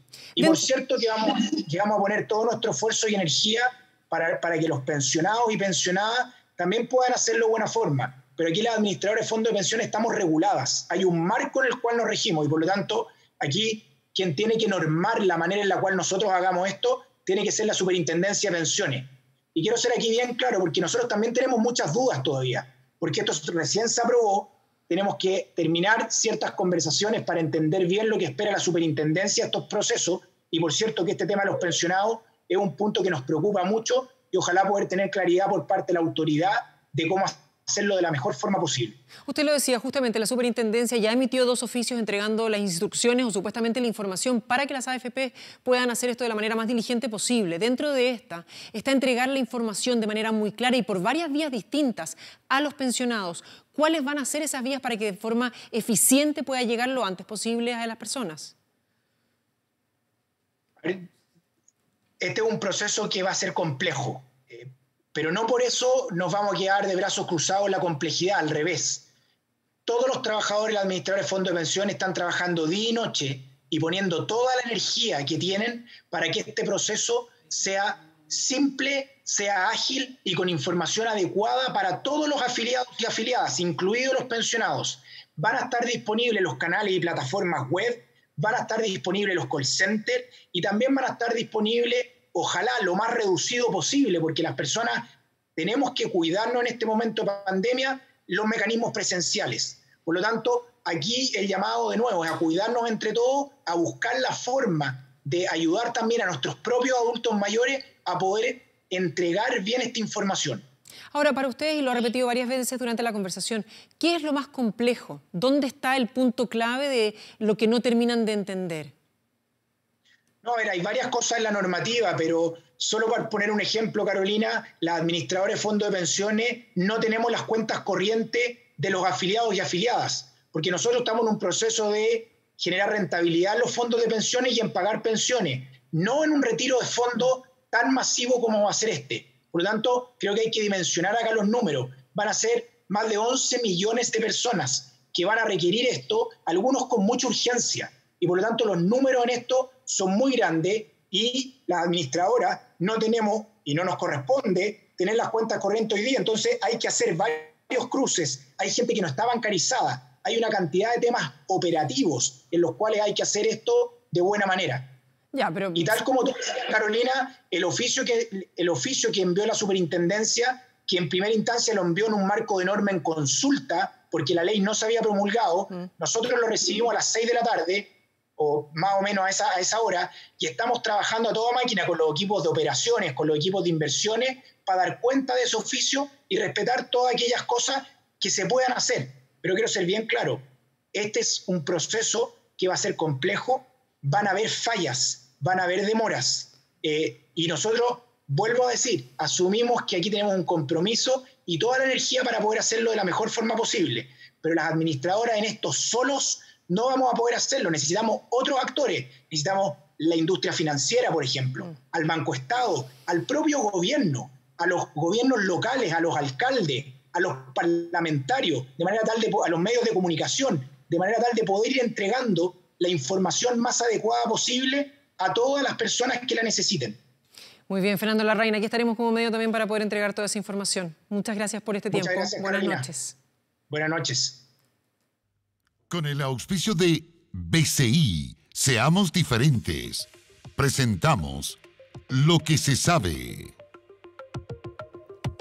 ¿Cómo están? Eh, muy buenas noches. Ya es jueves y comenzamos a entregarle esta información, lo último en ciencia y tecnología relacionado a la pandemia de coronavirus que provoca la enfermedad COVID-19. Vamos con la primera pregunta. Esto es eh, muy relevante. ¿Hay un nuevo síntoma de COVID-19? 19 vamos a revisar rápidamente porque esta enfermedad todavía sigue sorprendiendo a los eh, científicos y a las científicas. ¿Cuáles son los eh, síntomas que conocimos desde un comienzo? Usted lo sabe, vamos a revisar una, una lista precisa para que usted sepa cuál es el nuevo, pero también repasemos los, eh, los ya conocidos. Vamos a ver, señor director, qué podemos ver. Ahí lo estamos viendo entonces. Tenemos fiebre, tenemos la tos seca y también la dificultad para respirar. Esos eran los iniciales. Se han sumado varios más. Dolor de garganta, dolor de cabeza, dolor muscular, también diarrea la anosmia, que es la pérdida del olfato, la ageusia, que es la pérdida del gusto. Bien, ahora una investigación agregó, de médicos españoles, agregó el, síntoma que usted está viendo en pantalla. ¿Cómo se llama? Los enantemas. Estos son sarpullidos que salen al interior de la boca. ¿Cómo reconocerlos? ¿A cuántas personas puede afectar? Se lo preguntamos a un especialista. Mire. En ellos encontraron seis pacientes, cuatro de ellos mujeres, que en el interior de su boca tenían un sarpullido que era característico. Esto se conoce como enantema y eran como una suerte de pintitas rojas en el interior de la boca. Este nuevo síntoma de la enfermedad COVID ha sido escrito, publicado y ha empezado a ser reportado por especialistas en otros lugares alrededor del mundo. Es muy importante que ponga atención respecto de este, de este nuevo síntoma, considerando además que en muchos países que se cree que está controlada esta enfermedad, estamos viendo rebrotes y una segunda ola. Vamos a seguir avanzando con otra de las preguntas y revisamos justamente la que viene a continuación. ¿Cuánto va a costar la vacuna. Antes de entrar en eso, quiero tomarme un minuto para hacerle una pregunta. ¿Usted sabe básicamente por qué se llaman vacunas? ¿De dónde viene la palabra? Bien, para entenderlo habría que remontarse a finales del eh, siglo XVIII ¿Por qué? Porque en, ese, en esa época había un médico inglés que trabajaba en, en un sector campestre y atendía a muchos pacientes, campesinos, campesinas, justamente de qué? De la viruela humana, que era la pandemia en ese momento que estaba afectando a Europa. ¿De qué se dio cuenta este, este médico llamado Edward Jenner? Se dio cuenta que las personas que ordeñaban justamente a las vacas tenían mucho menos, sufrían mucho menos de este virus, no se contagiaban, no se infectaban de la viruela humana. ¿Cuál fue la relación? La hipótesis que hizo este hombre dijo, bien, las mujeres que ordeñan las vacas no se enferman porque están expuestas a la viruela, pero a la viruela bovina, a la viruela de las vacas. ¿Qué fue lo que hizo entonces para probar su teoría? Le inyectó a un niño de 8 años partes de este virus, del virus de la viruela bovina. Y funcionó. El niño fue inmunizado contra la viruela y años después a estas inoculaciones se les puso vacuna en honor justamente a Edward Jenner. Bien, volvemos entonces a, la pregunta inicial, ¿no? ¿Cuánto va a costar la vacuna? ¿Cuál vacuna, dirá usted? Efectivamente, todavía no hay realmente una vacuna definitiva, pero lo que sí hay son eh, candidatos que son muy prometedores. Por ejemplo, podemos ver ahora cuánto va a costar y por eso les queremos comentar porque ya hay algunos eh, ejemplos interesantes respecto de esta vacuna. Usted lo ve justamente aquí. La vacuna de BioNTech con Pfizer se comunicó justamente el día de hoy que ya le vendió 100 millones de dosis a Estados Unidos y se puso un precio tope. 20 dólares costaría por dosis la vacuna de BioNTech con Pfizer. ¿Cuánto es eso? Algo así como 15.400 pesos chilenos. Esta es solamente una dosis. Ese tratamiento va a ser de dos dosis probablemente, por lo que va a ser 40 dólares el tratamiento total. Estamos también viendo un precio muy distinto, el que vemos acá, de la vacuna de Oxford con AstraZeneca. Y esto, ponga atención, ese precio que usted ve ahí, que son 2,8 dólares, sería el precio de costo, el precio de costo de fabricación. Todavía no existe una versión oficial, reportes de prensa dicen que este sería el precio de la vacuna de Oxford y AstraZeneca. Lo que sí sabemos de ellos es que ya han dicho que por lo menos durante la pandemia van a vender esta vacuna a precio de costo. ¿Será este precio finalmente? Según eh, Oxford y AstraZeneca. En Latinoamérica todavía este precio no, no habría sido confirmado, solamente son reportes de prensa. Bien, avanzamos con eh, otra de las preguntas en esta sección de lo que se sabe, vamos a estar revisando. ¿Por qué los hombres se enferman más? ¿Por qué los hombres se enferman más que las mujeres? Uno de los países más eh, afectados nos pudo dar esta respuesta. Hablamos de Italia. Ustedes se acuerdan que allá durante algunos meses se vivió el epicentro de esta pandemia y murieron muchas personas porque el sistema de salud estaba completamente colapsado. Aprovechando entonces esa instancia, varios científicos estudiaron a más de 10.000 pacientes y vieron que muchos de los pacientes que eran hombres se agravaban más y morían también más, excepto aquellos que estaban siendo tratados por cáncer de próstata, por lo tanto que tenían un tratamiento hormonal y tenían menos testosterona o se les controlaba la testosterona. Le preguntamos a un especialista por qué esto es tan importante y escuche bien lo que nos dijo. Que estos pacientes, un porcentaje muy bajo, solamente 4 de 5.000 se infectaron y ninguno murió por COVID, por lo que se postula eventualmente que una castración química que, es reversible podría ser un eventual tratamiento eh, junto a un antiviral para el coronavirus. Bien, seguimos avanzando y por favor ponga mucha atención. ¿ah? Vamos con la pregunta que viene, esta interrogante es, es crucial. ¿Se puede detectar COVID con el aliento? Para muchos la respuesta sería ojalá, ¿no? Porque hoy día la manera oficial para detectarlo es a través de PCR, este examen que requiere una muestra y que hasta ahora se saca con esta tórula, ¿no? Esta tórula que se introduce por la vía aérea, por la nariz. Lo interesante de esta noticia es que en Francia, en la ciudad de eh, Lyon, eh, varios científicos están probando una tecnología, ponga mucha atención justamente con esas eh, imágenes. Es una máquina que se llama Breathalyzer y que utilizan justamente los pacientes, tienen que exhalar, tienen que tirar básicamente el aliento y lo que hace esta máquina es detectar rastros de la enfermedad. Y esto se demora segundos, es casi inmediato. Sin duda es un gran avance que han descrito los científicos en Francia. Escuche. Con este tipo de prueba rápida tendremos los resultados de inmediato y luego podremos trasladar al paciente al área correcta del hospital. El segundo beneficio es que como ahora tenemos algunos tratamientos efectivos, más rápido podemos diagnosticar, más rápido también podemos llevar a cabo el tratamiento. En BCI nos conectamos para que actives tu billetera digital. Descarga la app de Google Pay, Garmin Pay o Fitbit Pay y paga con tu tarjeta de crédito BCI Visa desde tu celular o reloj. Ha quedado muy claro ya siete meses del comienzo de esta pandemia que una de las maneras eh, más eh, peligrosas o donde se puede generar esta transmisión es a través de las microgotículas que uno genera cuando habla, cuando estornuda, cuando tose. Por eso hay que tener mucho cuidado con las superficies de contacto. Siempre hay que lavarse mucho las manos. Y con esa introducción vamos entonces a la siguiente pregunta porque tiene que ver justamente con algo que tocamos mucho. ¿Existe algún riesgo al momento de pagar? Puede ser con efectivo, puede ser de manera presencial, de manera física. Vamos a mostrarles una nota muy interesante porque la tecnología nos podría dar una solución muy relevante. Con esto me despido. Muchas gracias.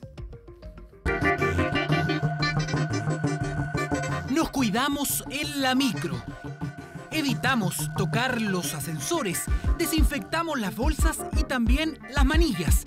No descuidamos los zapatos, porque claro, el virus sigue circulando y es mejor extremar las precauciones. El SARS coronavirus 2 tiene una supervivencia en gotitas de algunos minutos. En cartón, papel puede durar hasta un día.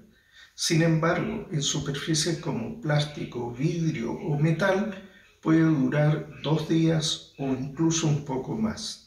Las superficies de contacto representan un peligro. ¿Y qué pasa con el dinero?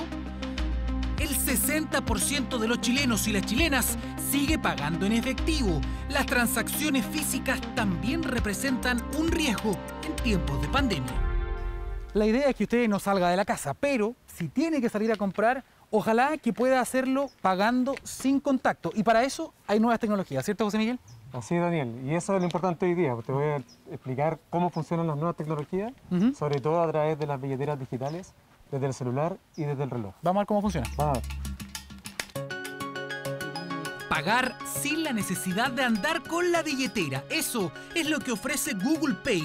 Utilizando tecnologías de transferencia de datos, lo único que hay que hacer es enrolar las credenciales de pago en el teléfono.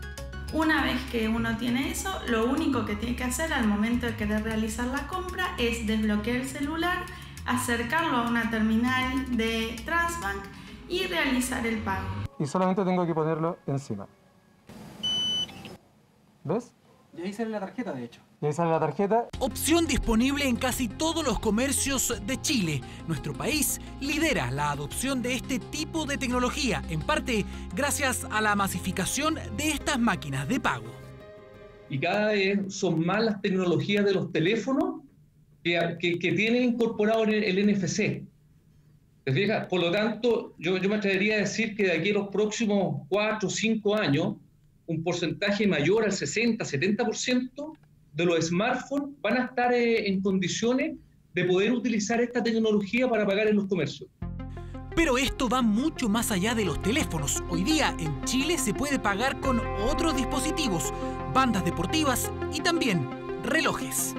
Uno básicamente tiene que enrolar y al momento de enrolar, uno elige la sección tarjeta de crédito.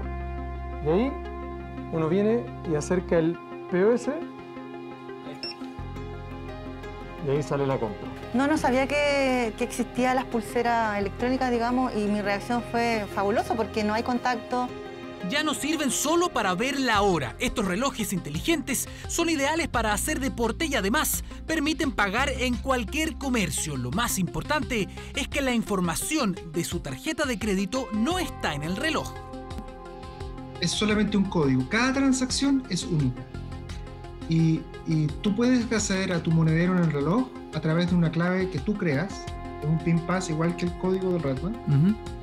y, y, lo puedes ocupar durante un día las veces que tú quieras para pagar. Pero si te sacas el reloj, se desconecta y te pide de nuevo tu PIN pass. Y en el caso del pago con la billetera electrónica de Google, ¿es lo mismo? Y además, para poder pagar con un dispositivo que yo me encuentre en la calle, por ejemplo, uh -huh. tengo necesariamente que desbloquearlo para poder realizar el pago. Es parte de los beneficios de la tokenización, estrategia de protección de datos para diferentes ecosistemas de pago, tecnología que va a seguir creciendo en nuestro país. Les recordamos que a partir de las 22 horas Televisión Nacional de Chile está autorizada para transmitir programas para mayores de 18 años. Revisamos otras informaciones. Un sargento encargado de la enfermería del regimiento de Colina está siendo investigado por el presunto abuso sexual de una soldado de 20 años que está haciendo el servicio militar. En reportajes 24 descubrimos además que habría otras dos denunciantes de acoso. Verónica Moscoso y Jimena González tienen detalles.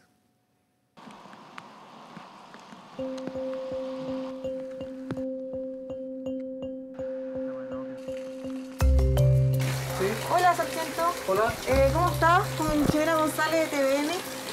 Eh, estamos en una investigación donde se le acusa de violar a una persona en el regimiento de Colina.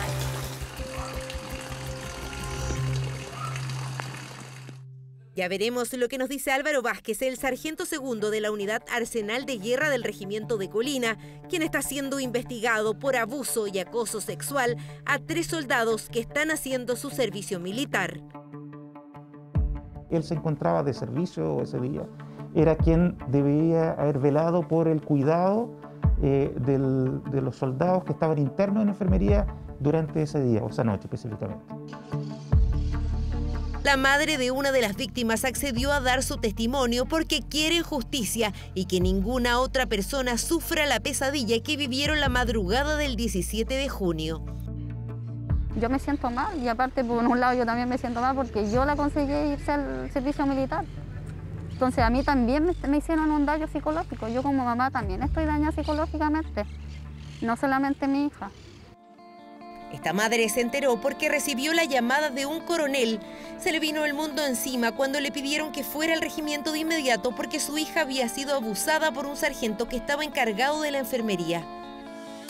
Manda un vehículo también para que la vaya a buscar y cosa que ella pueda ver en persona a su hija para ver eh, el estado, porque uno como padre o madre en este caso eh, se preocupa de sus hijos.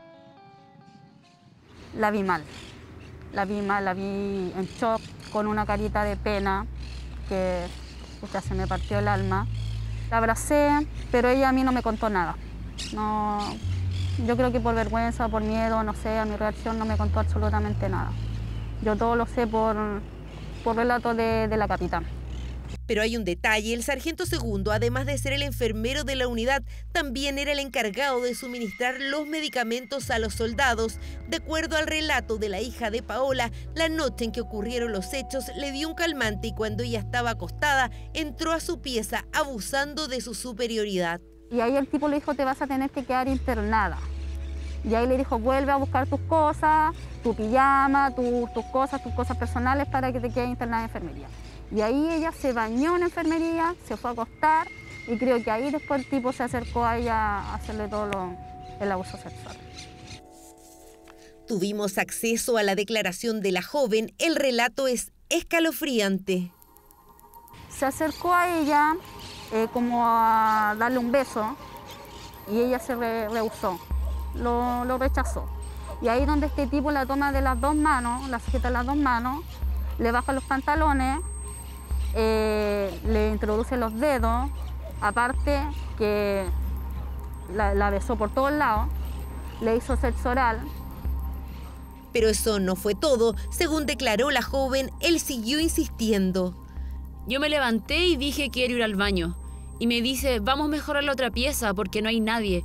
Y le dije quiero ir al baño. Se quedó parado mirándome y me fui. Me quedé en el baño un buen rato y fui donde una compañera que estaba en la pieza continua porque tenía miedo y dormí con ella toda la noche. Según consta en su declaración, en la mañana se armó de valor y decidió denunciarlo. Cuando desperté fui al baño para ducharme porque me sentía sucia y llevé mi celular y decidí llamar a mi cabo Lea y le dije lo que pasó en la noche. No sabía cómo explicarle, tenía miedo. Me dijo estas cosas se deben informar y que debía contarle a mi capitán. En ese momento tenía miedo a la reacción porque pensé que no me creerían. De ahí comenzó una investigación al interior del regimiento. Y en forma simultánea eh, le dispuse a la capitán, comandante de la compañía, que acompañara a la soldado a dejar la denuncia a la PDI. En forma paralela, como les mencionaba, se activan los protocolos que tiene el interior del ejército eh, ante estos casos. Prácticamente igual el ejército lo está tomando como abuso sexual, pero no es abuso sexual, es violación. Paula tenía tanta rabia que lo funó en las redes sociales. Ahí se enteró que este hombre de 42 años tenía más denuncias en su contra. Él no es de los trigos muy limpio. Esto no lo ha hecho por primera vez, lo ha hecho otras veces. Cuando habló mi hija, salieron dos niñas más que fueron acosadas por este tipo reunimos a todas las mujeres para ver si había algún hecho eh, anterior y efectivamente entre las soldados aparecieron dos soldados más que hicieron presente que hubo situaciones eh, que fueron bastante incómodas para ella justamente con el mismo sargento. Por ende se le tomó de la declaración a esos dos soldados y se incorporaron eh, dentro de todo el paquete de antecedentes que fue enviado en este caso a la Fiscalía y a la PDI como antecedentes anteriores del sargento. Telefónicamente contactamos al padre de una de las niñas. Nos contó que no una, sino en varias oportunidades su hija fue acosada, pero afortunadamente supo manejar la situación. También es cierto que dentro del ejército hay un temor, porque hay mucha gente que puede estar postulando a, a quedar dentro del ejército.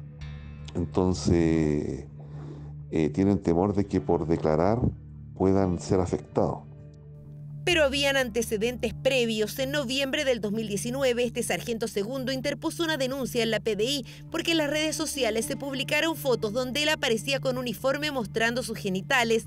A pesar de eso, siguió en el regimiento. Esos antecedentes, eh, al igual como este año, fueron puestos eh, a disposición de la unidad a la cual pertenece y la unidad a la cual pertenece colocó los antecedentes a la fiscalía.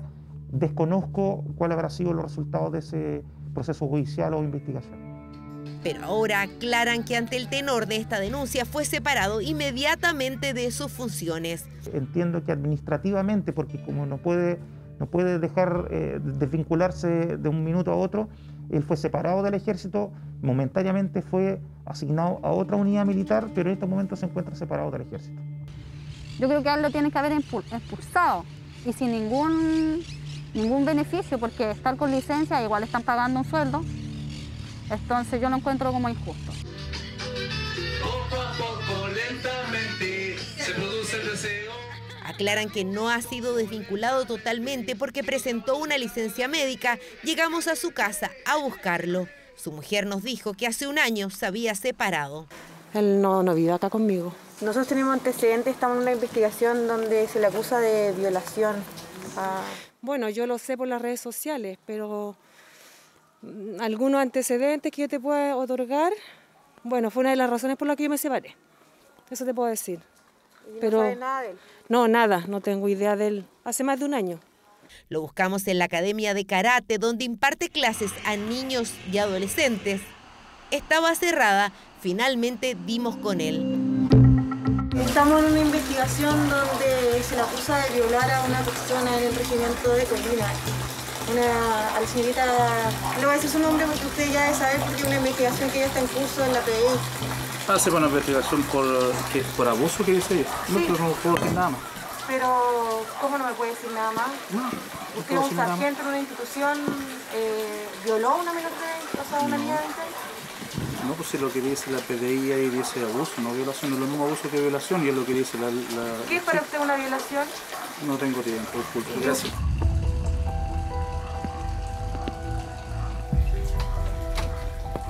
Él desconoce el hecho.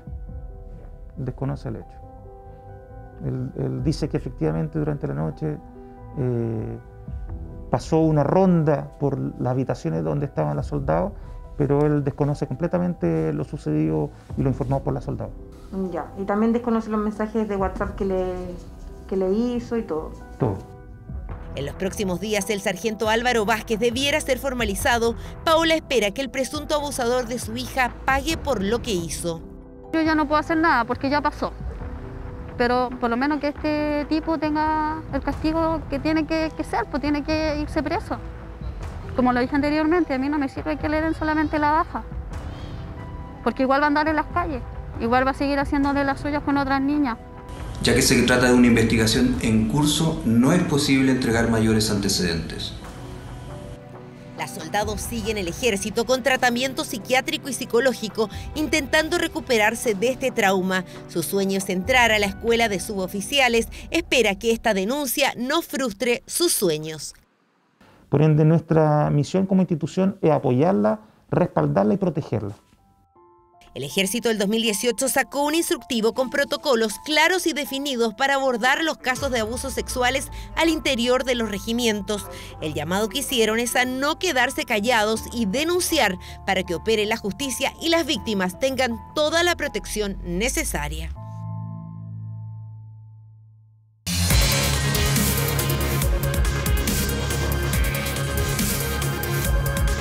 Crece la posibilidad de que las clasificatorias sudamericanas rumbo a Qatar 2022 se jueguen en Europa.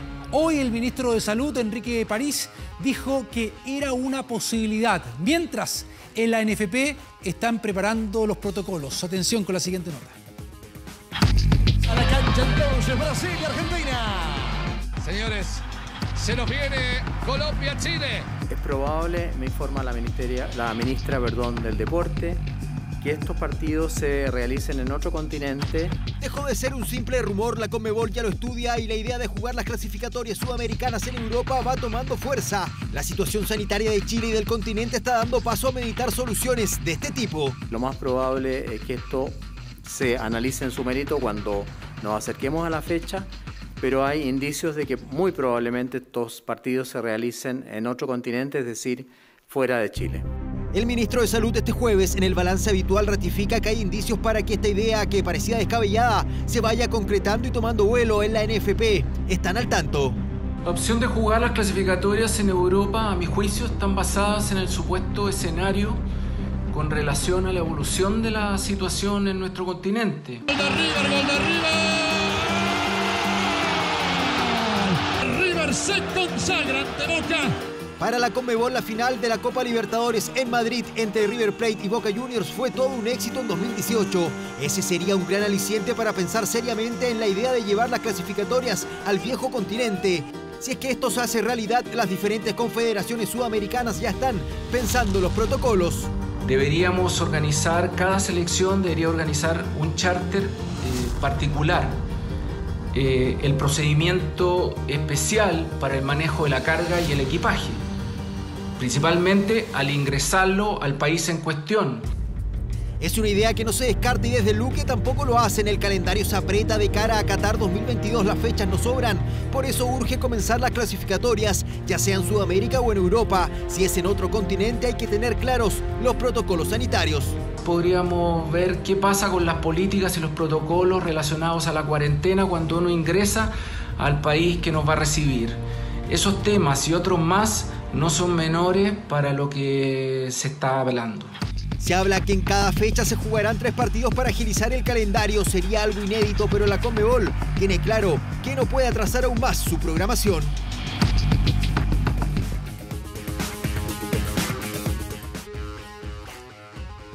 Estamos de regreso con el capítulo de Alexis Sánchez en esta teleserie La incertidumbre respecto a su futuro, pero hoy con un día muy importante, ¿ah? podría ser relevante. Ya el Inter de Milán, su dirigencia, confirmando públicamente que iniciaron las negociaciones con el Manchester United, el club dueño del pase del Tocopillano. ¿Se acuerda cómo hablábamos? Después del confinamiento tan importante que era terminar de buena manera la temporada, lo está haciendo Alexis Sánchez e incluso en Italia hablan de un Inter con chilenos, Alexis y Arturo Vidal. Nota. Qué bien juega Sánchez. Qué bien juega Sánchez. Algunos se enojan porque yo lo elogio. Discúlpenme, pero me parece que es un jugador extraordinario. Siete asistencias y dos goles tras el receso titular en los últimos cinco partidos. Alexis lidera las estadísticas y es la predilección de Antonio Conte, que es capaz de dejar a Lautaro en la banca. Lautaro al banco, eh, se ha ganado la titularidad Alexis. Es también el favorito de los hinchas y de la prensa, pero su contrato de préstamo dice que el próximo 5 de agosto será su último día como jugador lombardo, justamente después de disputar los octavos de final ante el Getafe por la Europa League. Es decir, no podrá estar en la fase final que se disputará en Alemania, pero el Inter iría por más, sobre todo ante la pregunta. Lautaro, Lautaro, ¿qué novedad tenemos ahora, última hora sobre Lautaro y el Barça? ¿Cuál es? La novedad es que se ha enfriado el traspaso de Lautaro al Barcelona, pero el cuadro culeno baja los brazos, por eso el Inter quiere asegurar el ataque interista con otro jugador de categoría que haga dupla con el belga Romelu Lukaku, y ese es Alexis Sánchez. Comenzamos contactos con el United en estos días para extender la posible estadía con nosotros, incluso después del partido de eliminación con Getafe.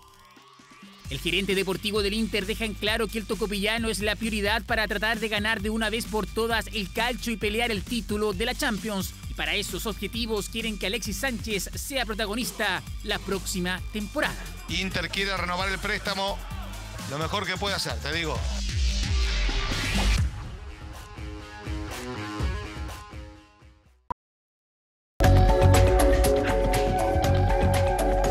Estamos de regreso para hablar ahora de Universidad de Chile, porque Azul Azul confirmó que José Luis Navarrete deja de ser el presidente. Asumirá en su reemplazo Cristian Auber, que estaba como director. Bueno, Navarrete estuvo un año y cuatro meses en la U, en ese tiempo vivió complejos momentos deportivos y económicos, además de la salida de, Johnny Herrera. Y esto podría, ojo, provocar un cambio en las elecciones de la ANFP. Nota a continuación. este directorio vamos a seguir trabajando por engrandecer el club. Por engrandecer el club. Así comenzaba José Luis Navarrete su periodo oficial como presidente de Azul Azul, 494 días al mando donde pasó prácticamente de todo. No tienen ningún proyecto, nunca han tenido proyecto, siempre ha sido lo mismo. En su periodo como timonel tuvo que lidiar con los problemas, los que se multiplicaron en lo económico y deportivo. Voy a hacerme cargo de mis errores. Me siento con la capacidad de entregar todas las herramientas que hemos adquirido en este tiempo. En lo deportivo, el primer damnificado fue Alfredo Arias, que dejó el club por malos resultados. En su reemplazo llegó Caputo, pero los dramas no terminarían ahí. Queda torneo, pero nosotros tenemos que darnos cuenta que nos pasa y tenemos que, tenemos que buscar ganar. Durante su gestión el equipo no encontró el camino, solo el término anticipado del torneo le dio un respiro a él y a la institución. El término anticipado del campeonato es un día triste para el fútbol ese. y nada, muy, muy, por lo menos muy feliz por, porque terminé jugando. Por... La salida de Herrera, el jugador más ganador del club, también lo marcó. La relación directiva y arquero se hizo insostenible. Eh, hace muy, todos saben que me querían echar hace mucho rato, que me querían echar hace mucho rato. Para ojalá terminar con un, con un club muy cerca a la línea eh, cero. Las finanzas del club también fueron una constante piedra en el zapato. Con el al mando se decidió por cortar el suministro del champú. Los menús pasaron de 5 a 3 y no hubo más tortas de cumpleaños. Todo para lograr la estabilidad económica. Con el anuncio de su salida será Christian Aubert el que tome la posta. Eso sí, antes debe dejar el directorio de Santiago 2023. Por engrandecer. En un periodo cercano al año y cuatro meses, José Luis Navarrete vivió líos con referentes, recortes económicos y un descenso impedido solo por secretaría. Claro, bueno, porque yo decía, puede provocar estos cambios en las elecciones de la NFP, Universidad de Chile, que ha mostrado públicamente su apoyo a la candidatura de Pablo Milad. Pero Aubert es muy cercano a quienes lideran hoy la campaña de Lorenzo Antillo. ¿Qué va a pasar con la U? ¿Se va a dar vuelta o no? Hemos visto estas vueltas de Carnero y Voltereta en el último segundo, en la urna, en elecciones de la NFP, así que no nos extrañemos. Me despido. Carola, continúas con la información acá en 24 Horas Central. Buenas noches. Gracias, Gustavo. Y esta noche, en unos minutos, después de 24 Horas Central, comienza Maestros del Engaño. Es un nuevo programa periodístico que deja al descubierto los falsos profesionales que dañan y estafan para lucrar. Hoy vamos a revelar el caso de un chileno reincidente que fue capaz de oficiar como médico en Chile, pero no solamente en nuestro país, también en Inglaterra y que actualmente lidera centros de salud en Santiago y también en regiones. ¿Estamos en riesgo esos pacientes? Mire el adelanto.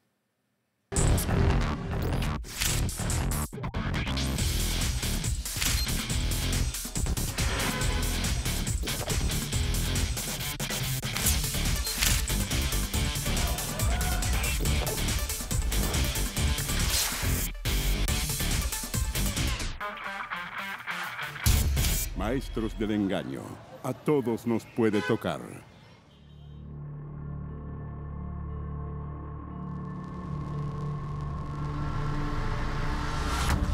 Cobraba por servicios para la estaba Se declaró culpable de siete cargos de fraude. Estos son los medicamentos que recetaba y estas las tarjetas con que se presentaban ante sus pacientes. Me veía mis exámenes y él me decía, este examen está mal, pero no en ningún momento yo dudé de que él fuera médico. ¿Es doctor? El doctor, sí. ¿Doctor Omar Becerra? No, no, no lo he visto, sí, no sé si estará ahí.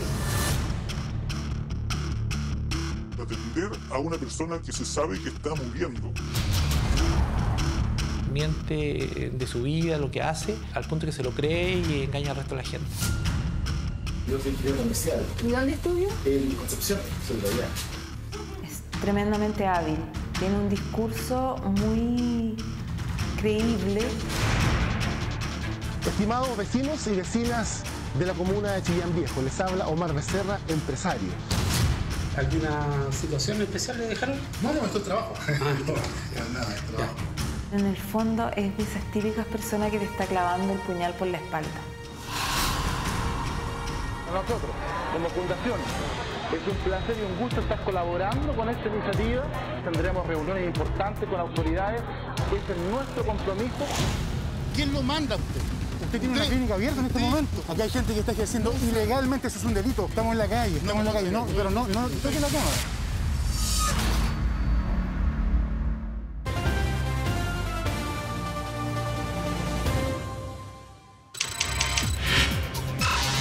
24horas.cl. Preste mucha atención porque luego que el presidente Piñera anunciara que va a promulgar la reforma para el retiro del 10% de los fondos de pensiones, queda solo un paso para que pueda entrar en vigor esta ley. Es ahora entonces donde muchos afiliados se preguntan eh, dónde, cuándo van a poder retirar el dinero. En 24 Data encontrará todos los detalles sobre cuánto dinero tienen los chilenos y chilenas en sus fondos.